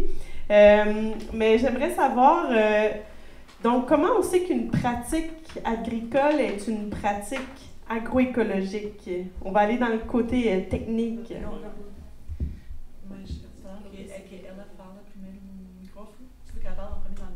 E après ça je traduis. Ouais. Ah, Mas você entendeu a pergunta? Como você que une pratique euh, agroécologique est une pratique agricole est une pratique agricole? Moi, a gente sabe que uma prática agricultura agrícola na prática agroecológica. Boa noite a todos. Ah, é um prazer estar aqui. Eu sou Leonilde Pinto Caetano, trabalho na ONG Tiniguena e sou de Guiné-Bissau. Bonjour, c'est Lionilde, Liodinilde et puis elle travaille pour l'organisation, euh, juste me répéter le nom, Tira... Tiniguena. Tiniguena, excusez-moi, et elle vient de Guinée-Bissau. Bom, ah, como agrônoma, eu acho que uma produção é, agroecológica, quando principalmente ah, o produtor ou a produtora ah, conseguiu uma produção com uma grande produtividade de acordo com o que ela investiu. Alors, une production agroécologique, pour elle, c'est une production qui atteint euh, une grande productivité par rapport à ce qu'elle a investi dans cette production-là. Mas isso levando em conta todos os mecanismos uh, de produção uh, agroecológicas, o que quer dizer desde a produção, de, desde o combate a pragas de uma forma biológica, em que o produtor utilizou os mecanismos que não agrediram o meio ambiente. Et ça, ça doit tenir compte que le producteur a utilisé des moyens qui vont pas euh, aller à l'encontre de l'environnement ou détruire de quelconque façon l'environnement. E também, além disso, quando conseguiu, uh, por si, uh, utilizar as tecnologias uh, adaptáveis à sua realidade, isso em conta, tendo em conta a sua renda e também seu, os seus meios de, de consumo, né? a sua necessidade e com a renda econômica que é acessível para ele ou para ela. E, e tout ça doit être euh, euh, tenant compte aussi des moyens technologiques, des moyens financiers que ces producteurs-là euh, détiennent. Donc, euh, j'imagine que ça va être dans un équilibre entre tous ces différents éléments-là.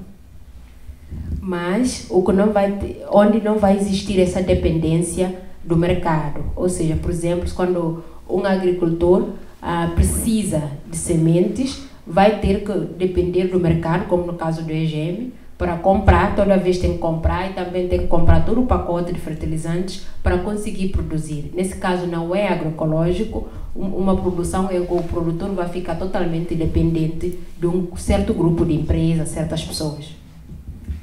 Donc, euh, une production ne peut pas être agroécologique quand elle dépend complètement du marché pour l'achat des semences et des autres intrants. Donc, s'ils sont captifs euh, de ce marché-là, dans ce cas-là, même si les autres éléments sont accomplis, on ne considérera pas qu'on parle d'agroécologie. E onde a sua produção toda vai ser uh, de acordo com a sua vontade, pode diversificar, pode produzir o que quiser uh, e vai ter e vai conseguir vender isso, vai conseguir ter um as pessoas vão conseguir ter acesso ao que, o que ele quiser vender e também o que vai dar para resolver, como disse a nossa colega, conseguir resolver os seus problemas financeiros, a sua vida, no que, no que ele faz, o agricultor faz. Então, neste caso, esse sim seria uma produção agroecológica, onde vai poder diversificar, não vai produzir só para o mercado. Donc, euh, l'agriculteur doit aussi pouvoir euh, diversifier sa production, puis avoir un certain contrôle sur ce qu'il choisit de produire, ce qu'il choisit de vendre, euh, comment en fait il se positionne face, face à son environnement. E então esse seria um caminho muito imprescindível para direitos humanos à alimentação, para a segurança alimentar e também para a soberania. Era isso, obrigada. Ce serait un chemin aussi très porteur pour assurer la souveraineté alimentaire, euh, de les droits humains aussi, merci. la souveraineté alimentaire, c'est ça. Donc, euh, euh, voilà, je pense que c'est ça.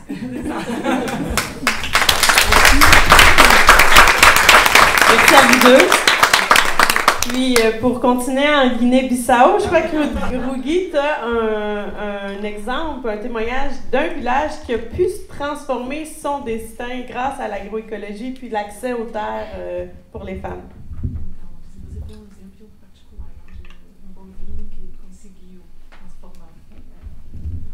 Primeiro que tudo, quero uh, agradecer a uh, uh, pela presença aqui. Quero agradecer em especial à Interpares, que é uma organização que tem trabalhado há mais de 30 anos com a Tiniguena, que é a organização que nós fazemos parte. Uh, gostaria ainda de... Je veux tout d'abord remercier tout le monde qui est ici, surtout Interpares, qui travaille depuis plus de 30 ans avec son organisation. Uh, donc uh, voilà, puis on, continuer. Um, na Guiné-Bissau, o, o, projeto Igalo trabalha uh, em 16 comunidades e um, diretamente em 16 comunidades e indiretamente em mais de 25 comunidades. Donc, euh, il travaille euh, en Guinée-Bissau directement dans 16 communautés et plus largement euh, dans 35 communautés, indirectement dans 35 communautés. Uh, e para dizer que um, ao longo destes três anos nós temos tido muitos ganhos uh, em relação à transformação das comunidades através das ações deste projeto. Au cours des trois, très jeunes, Au cours des trois dernières années du projet, euh, sont vraiment heureux de voir qu'il y a eu plusieurs gains euh, euh, dans le travail qu'ils ont fait avec ces communautés. Uh, mas eu gostaria de destacar que neste último ano nós tivemos um grande ganho. Um grande ganho porque um, um dos objetivos deste projeto uh, é combater a falta de acesso uh, à terra que as mulheres uh, têm na, na, África Ocidental E através deste projeto nós conseguimos um, trabalhar com os líderes tradicionais de duas comunidades da Guiné-Bissau com que trabalhamos, uma no sul da Guiné-Bissau e outra no oeste da Guiné-Bissau. Uh, e consegui. Ai, desculpa. Vai ser muito. et spécialement cette dernière année, il y a eu un très grand gain euh, au niveau de l'accès à la terre pour les femmes. Puis, euh, ce qui est euh, assez intéressant dans ce gain-là aussi, c'est qu'ils ont travaillé avec des organisations euh, gouvernementales ou des officiels, en fait, euh, des chefs traditionnels. Traditionnels, c'est ça, euh, au sud et au nord, une au sud et une au nord de, de la Guinée-Bissau. Em que conseguimos, uh, através de muitas negociações, uh, convencê-los a cederem uh, um, um, espaço, um campo para que as mulheres conseguissem trabalhar e tivemos, conseguimos que tanto uma comunidade como outra comunidade cedessem um espaço por um espaço por um tempo de 20 anos para as mulheres poderem praticar a agroecologia. Donc, euh, chacune de ces communautés-là, euh, ils ont réussi à céder un espace pour que les femmes puissent cultiver euh, pour 20 ans, c'est ça, 20 anos. Donc, euh, qu'elles puissent cultiver sur un espace au sein de chacune des communautés pendant 20 ans. Isto é importante re, uh, realçar porque normalmente nós sabemos que as leis tradicionais uh, locais uh, não dão acesso à terra às mulheres. Já se discutiu isso, já discutimos isso esta manhã e sabemos que um, por isso acontecer, ter a oportunidade de sentarmos e conversarmos com chefes tradicionais e conseguirmos que eles deixem, que eles cedam esses espaços para as mulheres trabalharem, est un grand gain.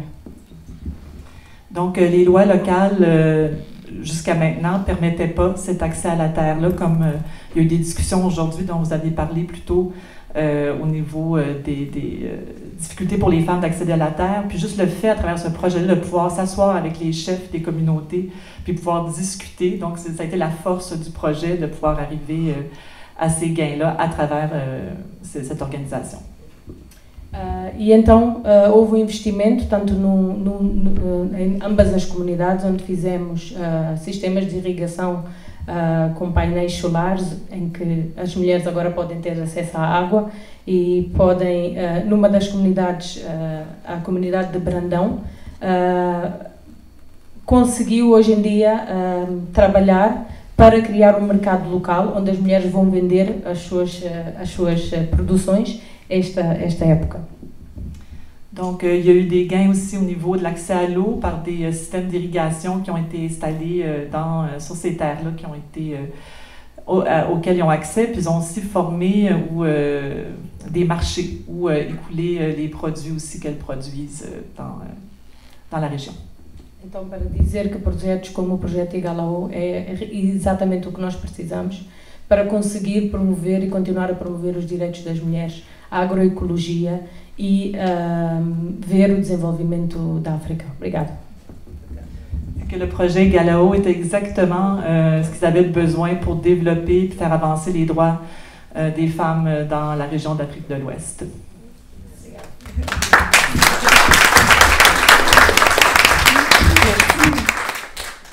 Puis, euh, je reviens à, Pauline au Sénégal. Euh, si j'ai bien compris, il y a déjà une, politique nationale d'agroécologie. Euh, est-ce que c'est un, grand gain? Le ciblez-vous? Qu'est-ce que vous faites pour en faire la promotion? Ou est-ce que ça va dans la direction où vous allez? merci, Lisanne. Je disais tout à l'heure, en concluant ma première prise de parole, qu'après presque 30 ans, ou plus de 25 ans en tout cas, de lutte à contre-courant, qu'il est heureux que, à la faveur d'un contexte favorable national et international, que euh, plusieurs organisations ont, aient compris que l'agroécologie est une solution. Et c'est dans ce sens justement que euh, un cadre est mis en place, une dynamique nationale multi-acteurs est mise en place, une dynamique avec euh, des universitaires, avec des chercheurs, avec des ONG, avec euh, des organisations de producteurs, avec également des communes, des collectivités. Une dynamique est mise en place justement pour travailler à la promotion de cette agroécologie-là. Et la dynamique, elle s'appelle la dynamique pour la transition agroécologique au Sénégal, la DITAS. Et donc, ce cadre multi-acteurs-là, qui regroupe tous des acteurs plus ou moins liés à, cette promotion de l'agroécologie, est en train de faire un travail extrêmement important au niveau du Sénégal. Euh, son travail est parti déjà voilà, d'un travail à la base pour voir quels étaient les enjeux, quels étaient les problèmes par rapport à l'agriculture en général, mais aussi par rapport à l'agroécologie. Et euh, tout ce travail a abouti à la production d'un document d'orientation qui a été euh, remis aux politiques pour justement donner du contenu à, l'État, aux politiques par rapport à la promotion de l'agroécologie. Et donc ce document euh, est orienté à quatre, à quatre axes principaux d'orientation par rapport à tout ce qui concerne euh, les ressources, euh, la sécurisation des ressources productives dans la terre et l'eau. Il y a un autre axe également autour de tout ce qui est euh, chaîne de valeur, un autre axe autour de tout ce qui est cadre réglementaire, etc. Et donc, c'est un document qui est remis à l'État pour pouvoir, comme j'ai dit tout à l'heure, donner du contenu à la politique. Et donc, après, ça aboutit justement à faire en sorte que l'agroécologie soit intégrée de, de, façon beaucoup plus visible et beaucoup plus officielle dans les documents de politique. Également aussi, euh, ça a permis euh, de faire des subventions par rapport aux, aux, aux, engrais euh, organiques parce qu'avant, il n'y avait que les, les engrais chimiques qui, ont été, qui étaient subventionnés par l'État. Et donc, depuis deux ou trois ans, il y a eu cette subvention-là par rapport aux engrais organiques pour accompagner justement cette, cette transition-là. Euh, également aussi, ça ne serait pas au cadre national, mais au niveau local également, pour travailler à la mise à l'échelle de cette agroécologie et faire en sorte que euh, y ait cette, de, et faire en sorte que de travailler à la territorialisation de cette agroécologie y a des dynamiques au niveau local avec euh, pratiquement les mêmes types d'acteurs mais aussi avec les collectivités parce que euh, là il y a l'importance en tout cas de, la politique qui est là pour donner des orientations, mais aussi pour accompagner tout ce que l'État et la société civile est en train de faire et pour faire en sorte que euh, cette agroécologie-là soit mise à l'échelle et puisse aussi donner, euh, euh, puisse contribuer à cette souveraineté alimentaire-là. Et dans ces cadres également, il y a aussi le réseau national, pour revenir aux femmes, le réseau national des femmes rurales, qui est aussi partie prenante de ces, de ces cadres aussi bien au niveau national que local, pour justement porter la voix des femmes dans, dans tout ce travail-là qui, qui, qui, est à faire. Et donc c'est une dynamique qui est en train de suivre son chemin avec euh, des temps forts d'action en direction, temps forts d'action et de plaidoyer en direction des autorités, euh, que ce soit nationales mais aussi euh, locales, avec les maires qui ont cette euh, orientation et cette vision euh, agroécologique-là.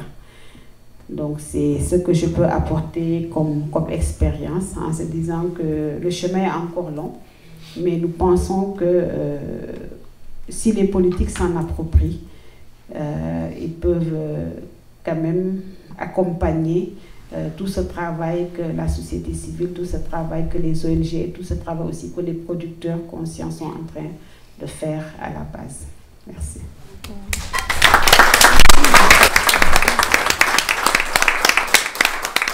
Dans, dans, toutes nos interventions sur l'agroécologie, on a vu que les femmes ont, un rôle euh, central. Mais j'aimerais qu'on le fasse ressortir encore plus. Alors, j'aurais peut-être une, question double pour euh, Fernand et, et Marianne. Donc, si vous pouvez nous faire ressortir encore plus, c'est qu'est-ce qu'on apprend par euh, approche féministe, puis pourquoi on le lit, euh, vous l'avez dit un peu en introduction, pourquoi on le lit autant à l'agroécologie? Puis, Marianne, si vous pouvez nous, nous redire pourquoi on lit les droits des femmes euh, avec l'agriculture. C'est quoi, quoi ce lien, ces liens qui sont à faire? Merci Lisanne. Je pense que je vais euh, juste introduire parce qu'on parle généralement d'approche féministe avec S à la fin, donc c'est assez divers. Mais euh, la façon que nous on le voit interpareil, c'est à la façon que nous on travaille avec nos homologues. C'est une approche qui va surtout cibler les inégalités sociales, les injustices sociales en partant euh, de leurs racines, comme le patriarcat. On va beaucoup travailler sur euh, l'autonomisation des femmes, sur le renforcement de leur pouvoir.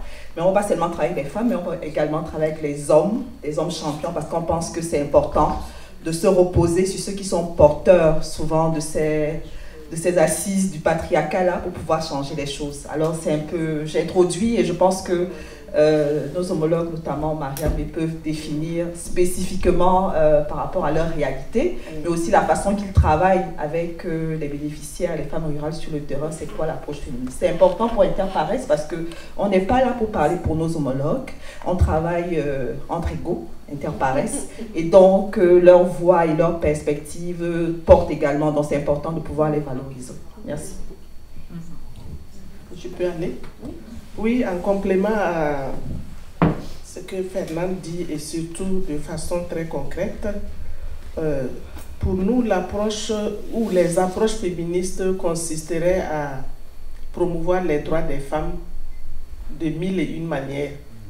Toutes les manières qui permettent, toutes les approches qui permettent de promouvoir les droits des femmes dans une perspective d'égalité de genre entre l'homme et la femme, peuvent s'inscrire, toutes ces approches peuvent s'inscrire dans une démarche féministe. Être féministe, ce n'est pas combattre que l'autre sexe, c'est-à-dire le sexe masculin, mais c'est surtout créer les conditions, déconstruire les stéréotypes pour que hommes et femmes puissent se reconnaître comme citoyens et citoyennes à part entière, complémentaires sur tous les plans. Voilà le fondement qu'on peut mettre déjà pour pouvoir avancer dans la déconstruction des stéréotypes dans un contexte fortement patriarcal que dans nos pays, tous les pays qui sont représentés ici ont un système social fondé sur le patriarcat qui donne le privilège au sexe masculin. Ça veut dire que tous les droits sont reconnus au sexe masculin, mais quant au sexe féminin, les droits sont sélectionnés selon les désidératas de l'homme. Parce que qu'est-ce qui se passe? La femme est considérée comme euh, euh, personne à protéger par son père, pardon, tant qu'elle est mineure, et plus tard par son mari une fois qu'elle se marie. Si jamais elle ne se marie pas, ce qui serait d'ailleurs un sacrilège, il faudrait que son frère la protège. Et une fois mariée, si elle perd son mari, c'est le fils qui protège. Donc elle est toujours sous la tutelle d'un homme. Un homme qui va contrôler sa vie, qui va contrôler tout ce qui concerne cette femme. Alors, en agroécologie ou dans l'agriculture, justement, nous reconnaissons, il est reconnu dans presque toutes les études, que les femmes nourrissent le monde. Il faut applaudir hein, pour ça.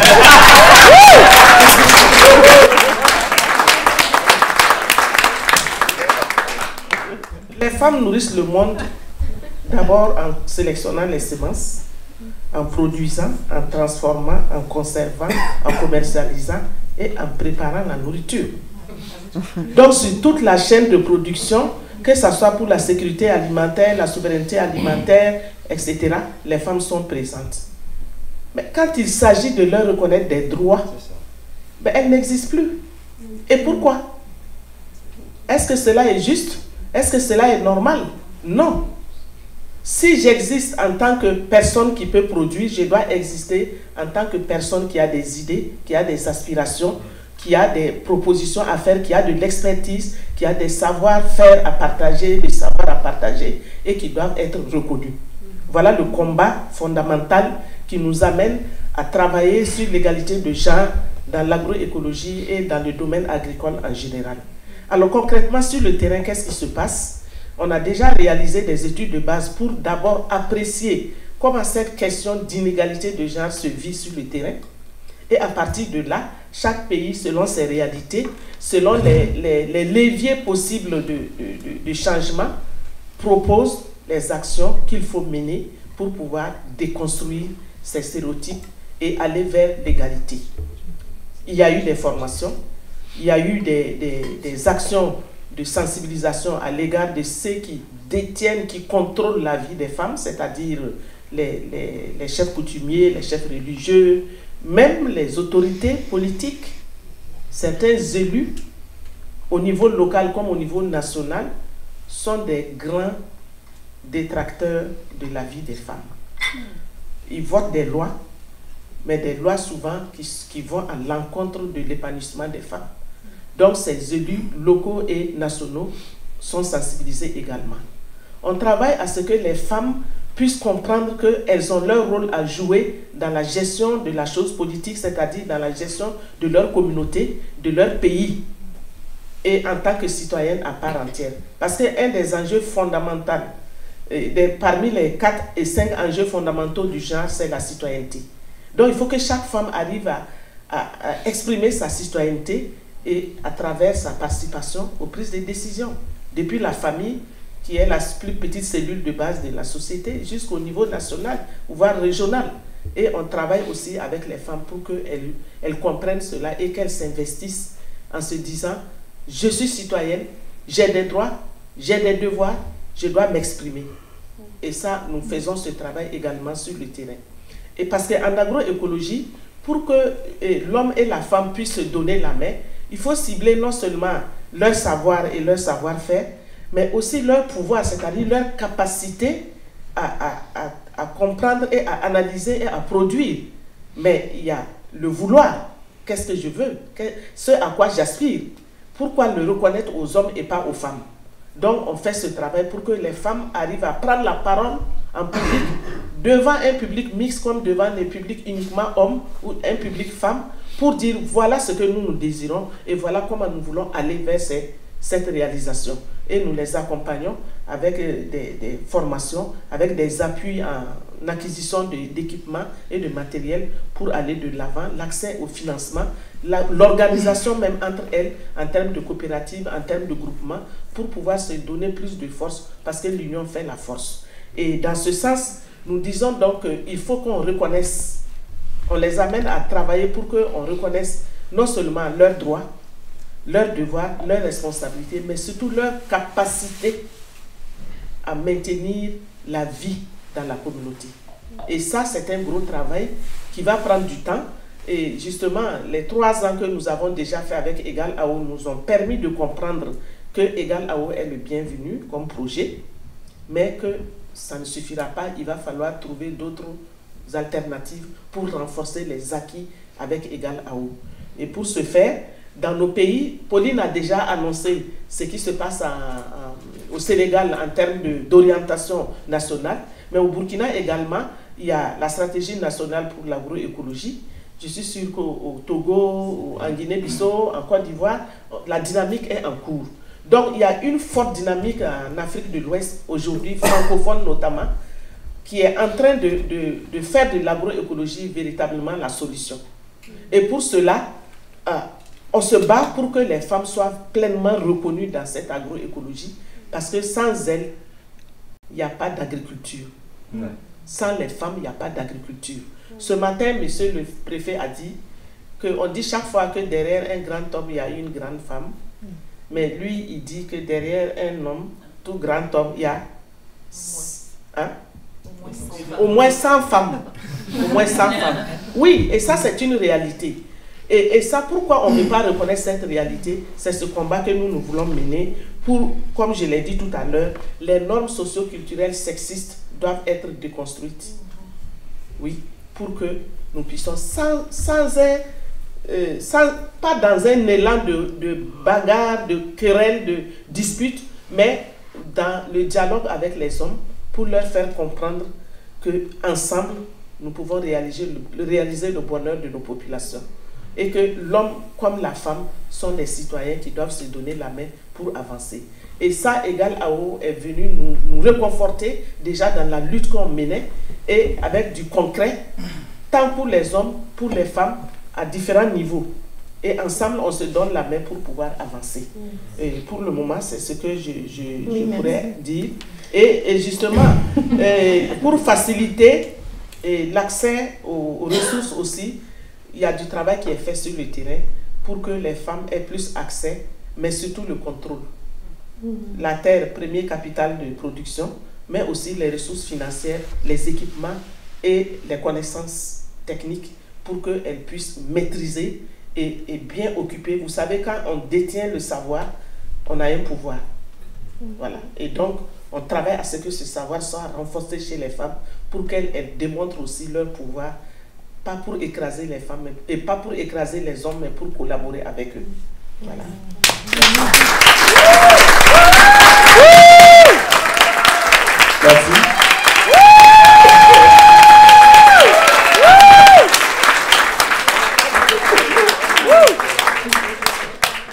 Mais euh, si Kelly, tu veux pas. Parce que j'aimerais. Attends, parce qu'on a. Parlant d'égalité homme-femme, on n'a pas entendu Adama encore nous, nous parler. Parce que justement, je sais que. Que. Non, c'était c'était pour appuyer ce qu'elle ce qu'elle disait, parce que, en fait, je pense que l'approche euh, féministe du projet Galao est, est pertinente, est d'autant plus pertinente aujourd'hui. Les femmes se trouvent dans une situation euh, de paradoxe assez renversant, ça il faut le dire. Elles contribuent à l'agriculture, ça c'est sûr. Mais en même temps, elles sont dans une situation de vulnérabilité quoi, avancée. Je le dis parce que moi, je suis tombé sur des études qui, m'ont donné euh, des sueurs dans le dos. Quoi. En fait, euh, cette étude explique que, en fait, euh, par rapport aux pesticides, les femmes sont les plus exposées. Elles sont les plus exposées à cause de leur anatomie. En fait, elles ont la graisse, excusez-moi de le dire. Et donc, euh, la graisse qu'elles ont là, euh, en fait, euh, retient les résidus des pesticides. Et ça, ça, ça vraiment dégrade leur santé. En plus de ça, les femmes qui sont enceintes ont généralement des malformations fétales. Elles font des fausses couches. Donc, je pense qu'il faut vraiment porter une attention très particulière par rapport vraiment à l'utilisation euh, de ces produits chimiques, là, les pesticides. Et ça, c'est un combat que nous sommes en train de, de, mener. Bon, euh, quand euh, elle a posé la question, et je pense que Léonide a bien répondu sur l'évaluation de l'agroécologie, à quel moment on, dit que voilà. Euh, en fait, il faut reconnaître qu'il y a des institutions comme la FAO qui ont donné des critères en fait. Il y a 10 éléments de l'agroécologie. Il y a le panel euh, de, de haut niveau sur la sécurité alimentaire qui a parlé de 13, 13 éléments sur l'agroécologie. Et, mais nous, euh, société civile euh, internationale, non pas d'agroécologie paysanne. Et donc, nous, nous avons euh, élaboré sept piliers. Nous parlons plus de sept piliers. Et justement, la plus-value de, de notre manifeste, puisqu'on a, on a élaboré un manifeste qui parle des sept piliers, c'est qu'on a, on a, on a indiqué que vraiment le rôle de la femme doit être mis en avant. Et c'est ça qui est vraiment qui est, qui est intéressant dans ce travail que nous avons fait en 2017 au Mali à Nelly. Donc je voulais souligner ça quoi, en fait. Merci. Merci. Ça, je voulais parler, je donnais la parole à Dana parce que l'agroécologie menée par les femmes, c'est aussi une affaire d'hommes. Donc, euh, je crois que vous avez développé une façon de, trouver des, alliés parmi les hommes. Euh, si vous pouvez nous, parler un peu des, stratégies que vous avez adoptées, parce que c'est des concepts qui sont pas nécessairement faciles, des mentalités, c'est pas facile à changer. Donc, euh, dites-nous comment vous avez fait. Ok, bonsoir à toutes et à tous. Donc, je suis Soulama Dama. Donc, je suis en charge en fait de projet, du projet Galao au niveau du Burkina Faso. Euh, c'est vrai que, comme on l'a dit, euh, au niveau de, de la- l'agroécologie, il y a en fait les femmes qui sont encore. euh, il y a la question, excusez-moi, de l'eau. La question des femmes. Les femmes sont exclues.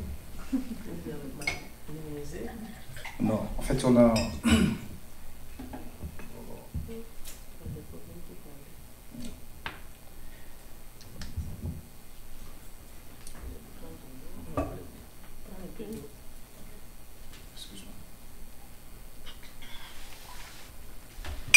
En fait, ici, il y avait la, question en fait, de l'accès en fait, euh, des femmes à la terre. Comme on l'a vu au niveau de l'agroécologie, et la question en fait, de l'accès en fait, à la terre en fait, se, se pose avec beaucoup plus d'acuité.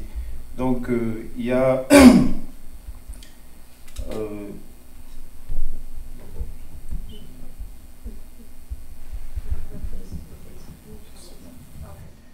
ok.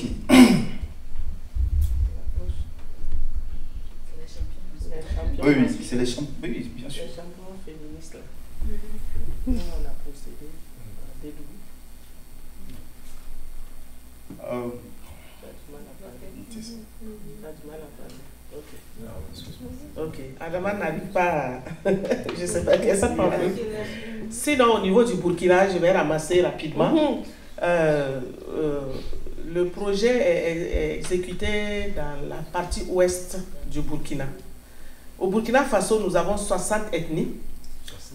Oui, une- 60 ethnies, donc 60 coutumes, vous voyez, 60 traditions, mais toutes reliées par le patriarcat. Il y a des sociétés matrilinéaires, mais pas matriarcales. Alors, dans la zone ouest où intervient le projet Égal AO, euh, euh, c'était, c'est une zone déjà assez ouverte, j'allais dire, euh, par rapport à l'égalité. Il n'y a pas encore d'égalité homme-femme, mais il y a une certaine ouverture. Les, les normes ne sont pas aussi rigides que dans le plateau central. Alors donc, INADES est parti de, de, cette, euh, de ce levier socioculturel pour dire que nous allons identifier dans la communauté des hommes qui déjà sont en avance par rapport aux autres hommes. C'est-à-dire quoi? Ça veut dire que ces hommes ont déjà pris des engagements ou adoptent des comportements pour aider les femmes à promouvoir leurs droits. Donc on en a identifié une dizaine qui sont des hommes qui, qui affrontent vraiment les coutumes pour dire les femmes sont des êtres humains, respectez-les, aidons-les à ce qu'elles puissent produire correctement, valorisons-les, et etc. Donc du coup, ces femmes, ces hommes, ces dix hommes, cette dizaine d'hommes a été retenue comme des hommes champions féministes, c'est-à-dire des hommes qui peuvent porter des messages auprès des autres hommes plus réfractaires à l'instauration de l'égalité homme-femme, des hommes qui sont complètement fermés à reconnaître que la femme est un être humain avec des droits et des devoirs, des hommes même qui sont des, des- des bourreaux des femmes, qui sont dans des violences conjugales extrêmes, qui sont capables de, de battre une femme à mort. Et, et ces hommes champions féministes nous aident à sensibiliser et des femmes et des hommes, parce qu'il y a des femmes aussi qui résistent à l'égalité. hein. Ça, je vous le dis. Il y a des femmes qui ne veulent pas admettre qu'elles puissent être l'égale de l'homme en matière de droit. Elles se, elles, oui, elles se considèrent comme des citoyennes de seconde zone. Euh, du coup, elles acceptent toutes sortes de, de- de traitements, hein, toutes sortes de soumissions pour pouvoir subsister à côté d'un homme. Voilà. Donc, ces hommes champions nous aident à sensibiliser et des femmes résistantes à l'égalité homme-femme et surtout les hommes qui sont des obstacles à l'avancée de l'instauration de l'égalité homme-femme dans la communauté.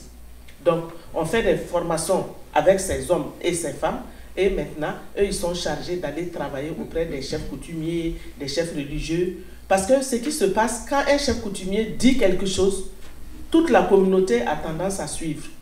Quand un chef religieux aussi dit quelque chose pendant sa prêche, ses fidèles ont tendance à suivre. Donc, ces hommes champions féministes passent par ces personnalités et- et dans la communauté pour faire passer les messages par rapport à l'égalité homme-femme sur tous les plans, mais notamment dans l'agroécologie. Et c'est en train de porter des fruits parce que euh, je crois que l'accès à la terre, qui était très très difficile dans, dans- dans la zone à l'époque, a commencé à être revu pour permettre à des femmes d'accéder à une portion de terre de façon sécurisée. Vous voyez? Donc, euh, il y a des prémices il y, a des, il, y a, il y a des débuts de changement que nous allons évaluer bientôt pour voir ce que ça donne effectivement comme résultat sur le terrain. Voilà un peu l'expérience. Et ces hommes sont utilisés aussi pour faire des messages radio, des émissions radio. Voilà. Parce qu'il y a des radios communautaires qui portent loin en langue, dans différentes langues, pour que tout le monde puisse comprendre et s'investir tout en les interpellant à venir agir pour que la communauté se porte mieux. Voilà un peu l'expérience que nous avons vécue dans la zone. Et ça euh, je, je, vois juste le, temps qui file. Si je redonne le micro à Sikeli, je sais comment ça va se passer. Mais alors, euh, je voudrais juste poser une dernière question euh, avant peut-être d'ouvrir au public. Puis, si, donc, on pourra prendre quelques questions selon le temps qui nous reste, mais sinon, il y aura possibilité de, d'avoir des courtes discussions là, avec les panélistes. On va rester quelques minutes après si vous voulez venir les saluer. Je suis sûre que ça va, ça va faire plaisir. Mais euh, donc, juste pour, pour conclure, là, comme, comment on, on, peut travailler de façon plus solidaire? Là? Je pense que Thibault a, besoin d'aide ici euh, à Vigilance euh, OGM. Alors, comment on peut s'aider entre le Canada et l'Afrique de l'Ouest? Comment on peut... on, est, on parle de solidarité, comment on la démontre, cette solidarité-là, dans, dans nos luttes? Alors, c'est une, une, question ouverte à tout le monde. Évidemment, c'est qui Je vais tout de go comme ça. L'un des principes de l'agroécologie, c'est en fait le copartage. Donc, je pense que déjà, on peut créer une plateforme en fait pour juste partager les informations, les expériences, les informations, et puis bon, euh, voilà, justement bénéficier de l'expertise des uns et des autres. Voilà, donc je pense que tout de go comme ça, c'est la première solution que je propose. Ben, oui, rapidement, et je vais passer le micro. Euh, ben, déjà, juste diffuser et inviter ces personnes à venir. Euh, ben, Interpares, merci. Et, ce panel est vraiment euh, au-delà de mes attentes, vraiment sur plein d'aspects. Et, et, je pense que vous êtes tous invités au mariage. Hein?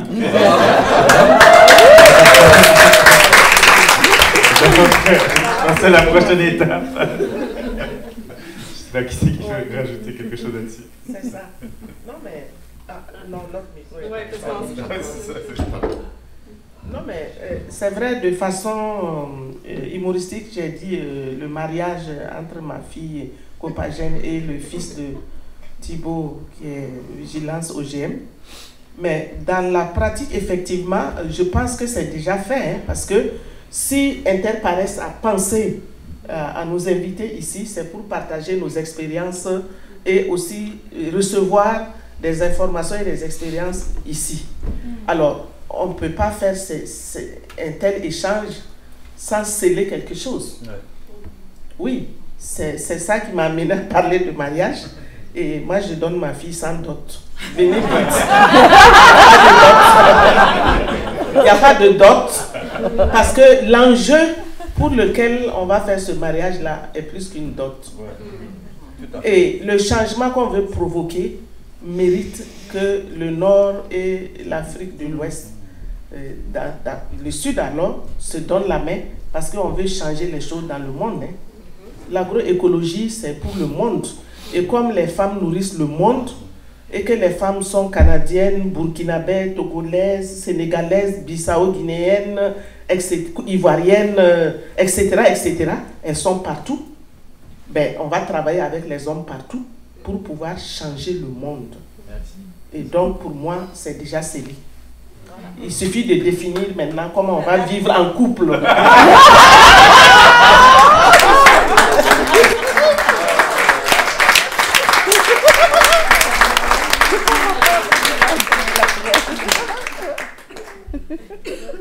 Euh,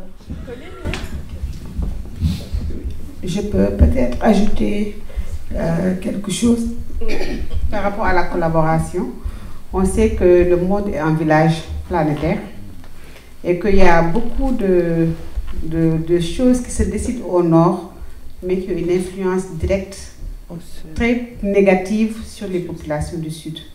Et je pense que le travail que Thibault est en train de faire par rapport à la veille, par rapport à la dénonciation, par rapport justement à cette influence-là sur les multinationales. Je pense que ce travail-là peut également euh, beaucoup payer. Voilà.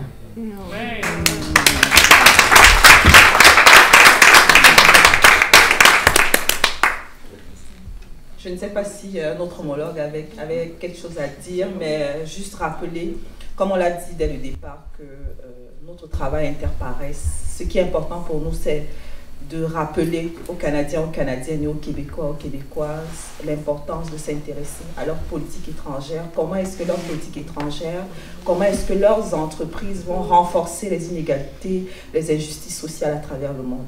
Alors, on va avoir des articles, on va avoir des activités d'engagement du public. Il y a d'autres organisations de coopération de solidarité internationale qui font la même chose. on invite euh, le public et les personnes qui nous écoutent à s'abonner à nos newsletters. Et le public également, nous avons euh, les bulletins qui parlent des Galao, mais qui parlent également de ces enjeux-là d'accaparement des terres, euh, que ce soit en Afrique de l'Ouest ou alors dans d'autres thématiques comme les droits de santé sexuelle et reproductive sur lesquels on travaille, la démocratie à travers le monde. on vous invite à, vous servir de, dans la table qui est juste en arrière, il y a nos bulletins. Et ceux qui sont en ligne, vous encourage à vous abonner à notre newsletter et à aller cliquer dans notre publication pour voir un peu, pour vous renseigner sur ce qu'on fait en tant que citoyen indirectement par rapport à ces, ces, enjeux d'inégalité de genre en Afrique de l'Ouest et dans le monde. Merci.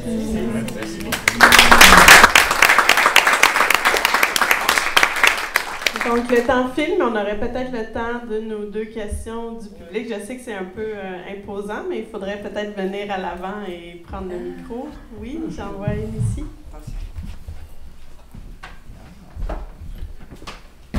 Bonsoir, euh, délégation de l'Afrique. C'est vraiment une joie de, de vous de recevoir chez, chez nous et en fait de, de, que vous nous inspiriez comme ça sur l'agroécologie et aussi, aussi sur le féminisme qui, qui m'interpelle beaucoup. Euh, en fait, euh, j'ai une question par rapport aux, aux 10 hommes féministes. Est-ce que c'est principalement dans un seul pays que ça se fait ou, ou, ou cette idée-là a, semé dans, a été semée dans d'autres pays?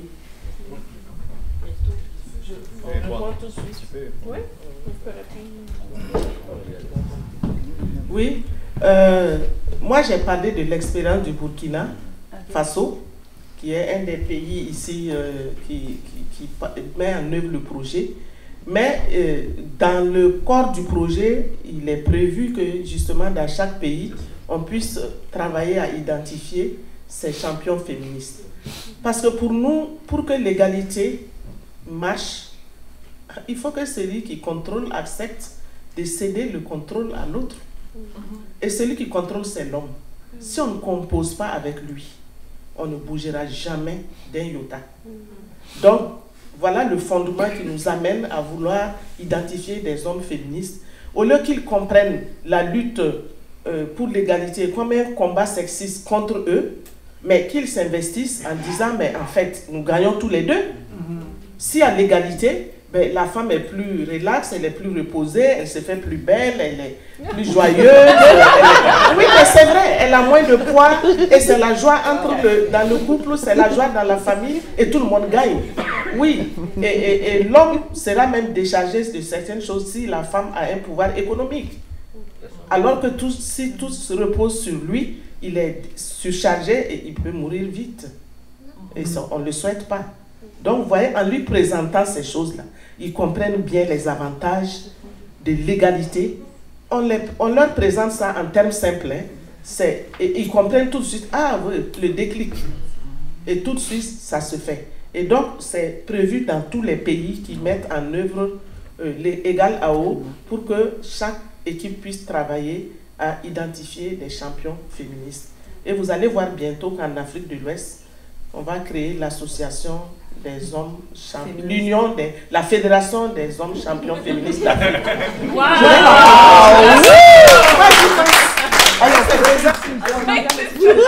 je vais raconter une anecdote très rapide. Euh, en avril, je me suis rendue à Fatigue, au Sénégal, euh, pour euh, visiter notre homologue Enda Pronat. Et j'ai eu le privilège de participer à une formation de Pauline former les hommes féministes. Moi, je suis arrivée avec des biais. Moi, j'avoue, j'avais des biais. Je disais, mais je vais voir comment ça se passe dans ce village avec des, des, des hommes musulmans. Comment est-ce qu'elle va rentrer les enjeux euh, d'inégalité de genre? Et j'ai tellement été surprise, j'étais la bouche ouverte de voir comment son approche partait des droits. Ça. Des inégalités des droits pour rentrer sur les inégalités de genre en agroécologie. Je ne sais pas, euh, c'est vrai que j'ai parlé pour toi, mais c'était important que je rappelle cette anecdote parce qu'on est souvent porteur de biais.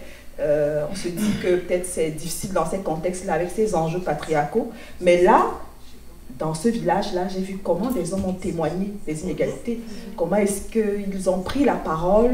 Et j'étais moi-même très surprise de ces hommes féministes qu'on voit dans les rapports, euh, dans ce, dans ce projet-là. C'est quelque chose, c'est une cible très importante. Et les voir à l'œuvre, les écouter, témoigner, euh, c'était très inspirant. Merci. Très inspirant.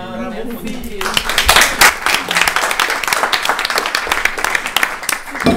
Si je peux rajouter, ici, c'est pour un homme, c'est difficile pour lui de, de, se dire féministe.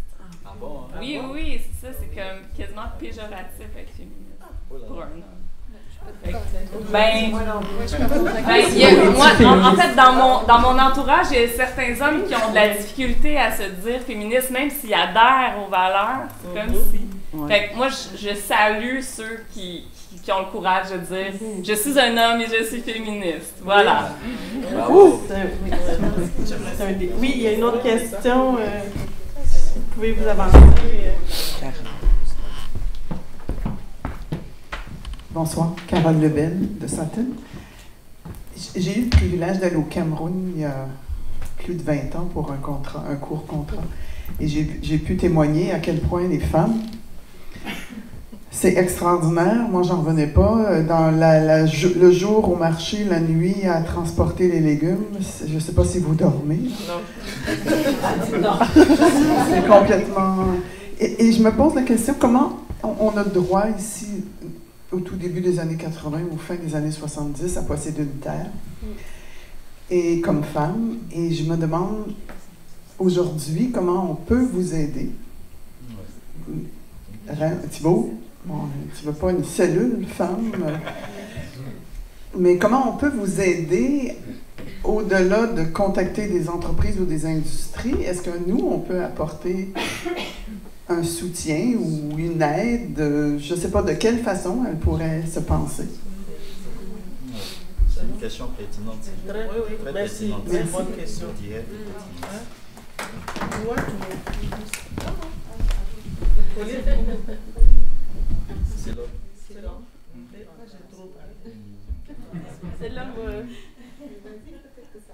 solution, c'est là. Les, les hommes féministes qui sont là, allez-y.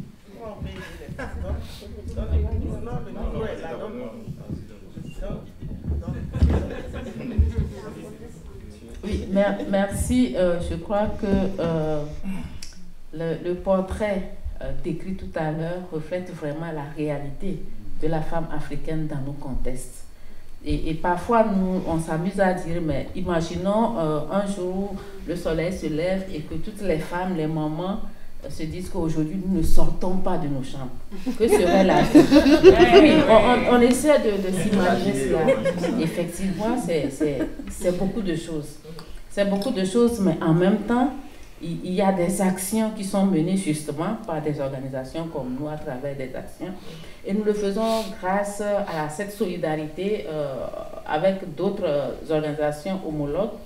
Et qu'est-ce que vous pouvez faire? C'est déjà de partager ces expériences avec nous, euh, mais aussi des mises en relation qui puissent nous permettre vraiment d'appuyer euh, ces femmes.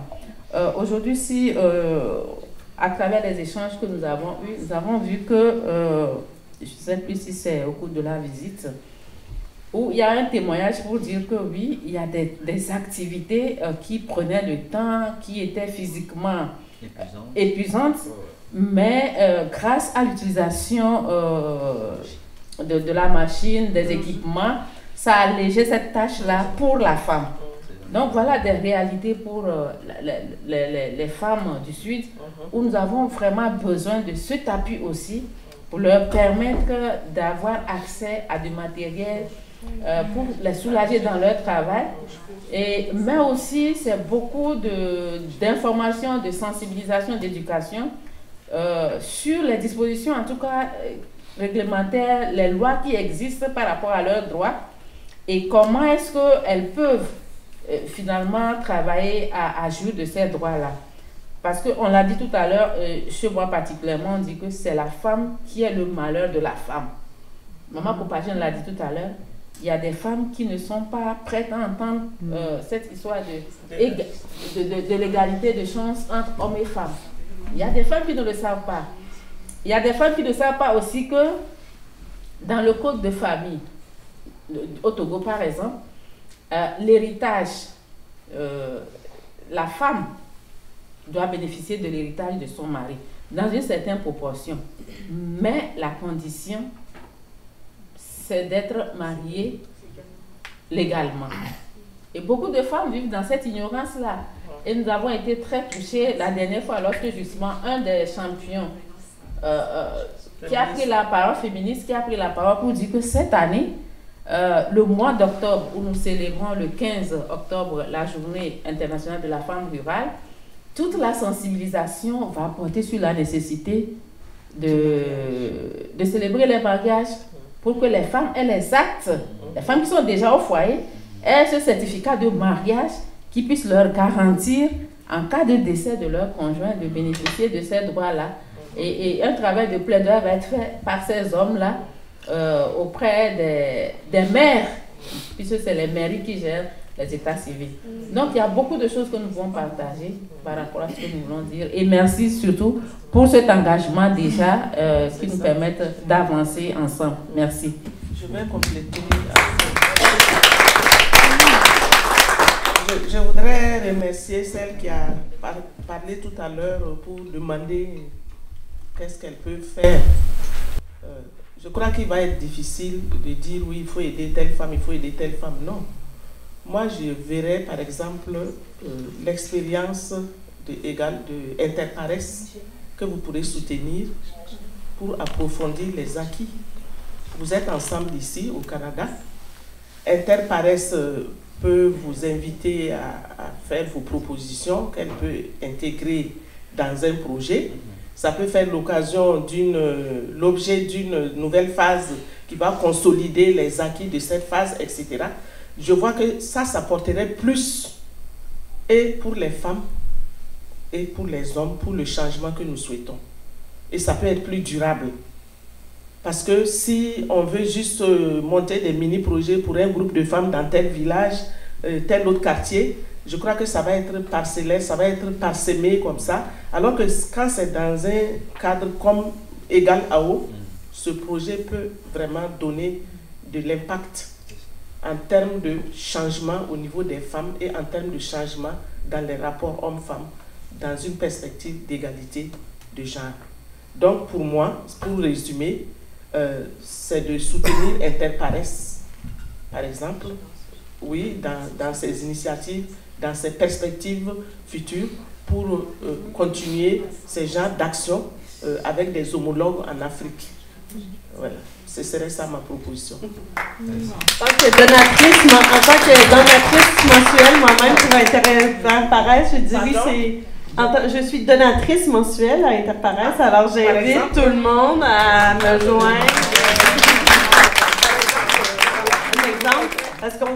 Ben, je suis, biaisée parce que j'ai déjà travaillé avec Interpares, mais euh, je sais que l'argent du public est tellement important parce qu'à chaque fois qu'on reçoit de l'argent du gouvernement, il faut qu'on ait une cote-part qui vient aussi du public. Alors, moi, ce que je trouve motivant dans, dans mon don à Interpares, c'est que je sais que cet argent-là, il multiplie l'argent qui, qui, est destiné à des projets comme le projet des Donc, ça, sera peut-être ma conclusion de, de l'atelier, c'est justement de, de, vous, de faire un appel à l'appui, soit de, de Vigilance OGM aussi, qui fait du travail... Euh, de, de moines parfois pour, euh, pour dénicher euh, les informations et les rendre publiques, accessibles, des informations auxquelles on devrait avoir droit.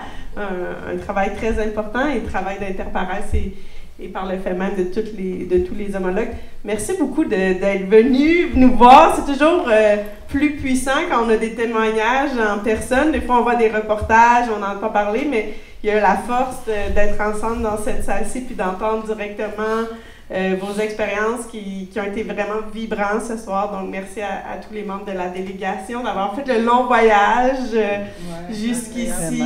Donc, euh, merci. Puis, merci à Interparesse et à, à Vigilance d'avoir organisé cette soirée. Puis, merci à vraiment à, tout le public de s'être déplacé, vos, personnes en ligne aussi également. Donc, je vais vous souhaiter une bonne soirée, puis euh, continuons, continuons informellement les échanges un petit peu parce qu'on ne peut pas les garder trop tard. Il y a une grosse journée demain aussi de, mm-hmm. de visite. Ils continuent à avoir notre belle région, puis les, les initiatives euh, agroécologiques qui existent aussi. aussi. Demain, ils vont au Cocagne euh, après Lechburg, par exemple. Donc, ça va être un, on essaie que ça soit vraiment un échange, puis que les, euh, les connaissances se partagent des deux côtés. Donc, merci beaucoup. Bonne soirée.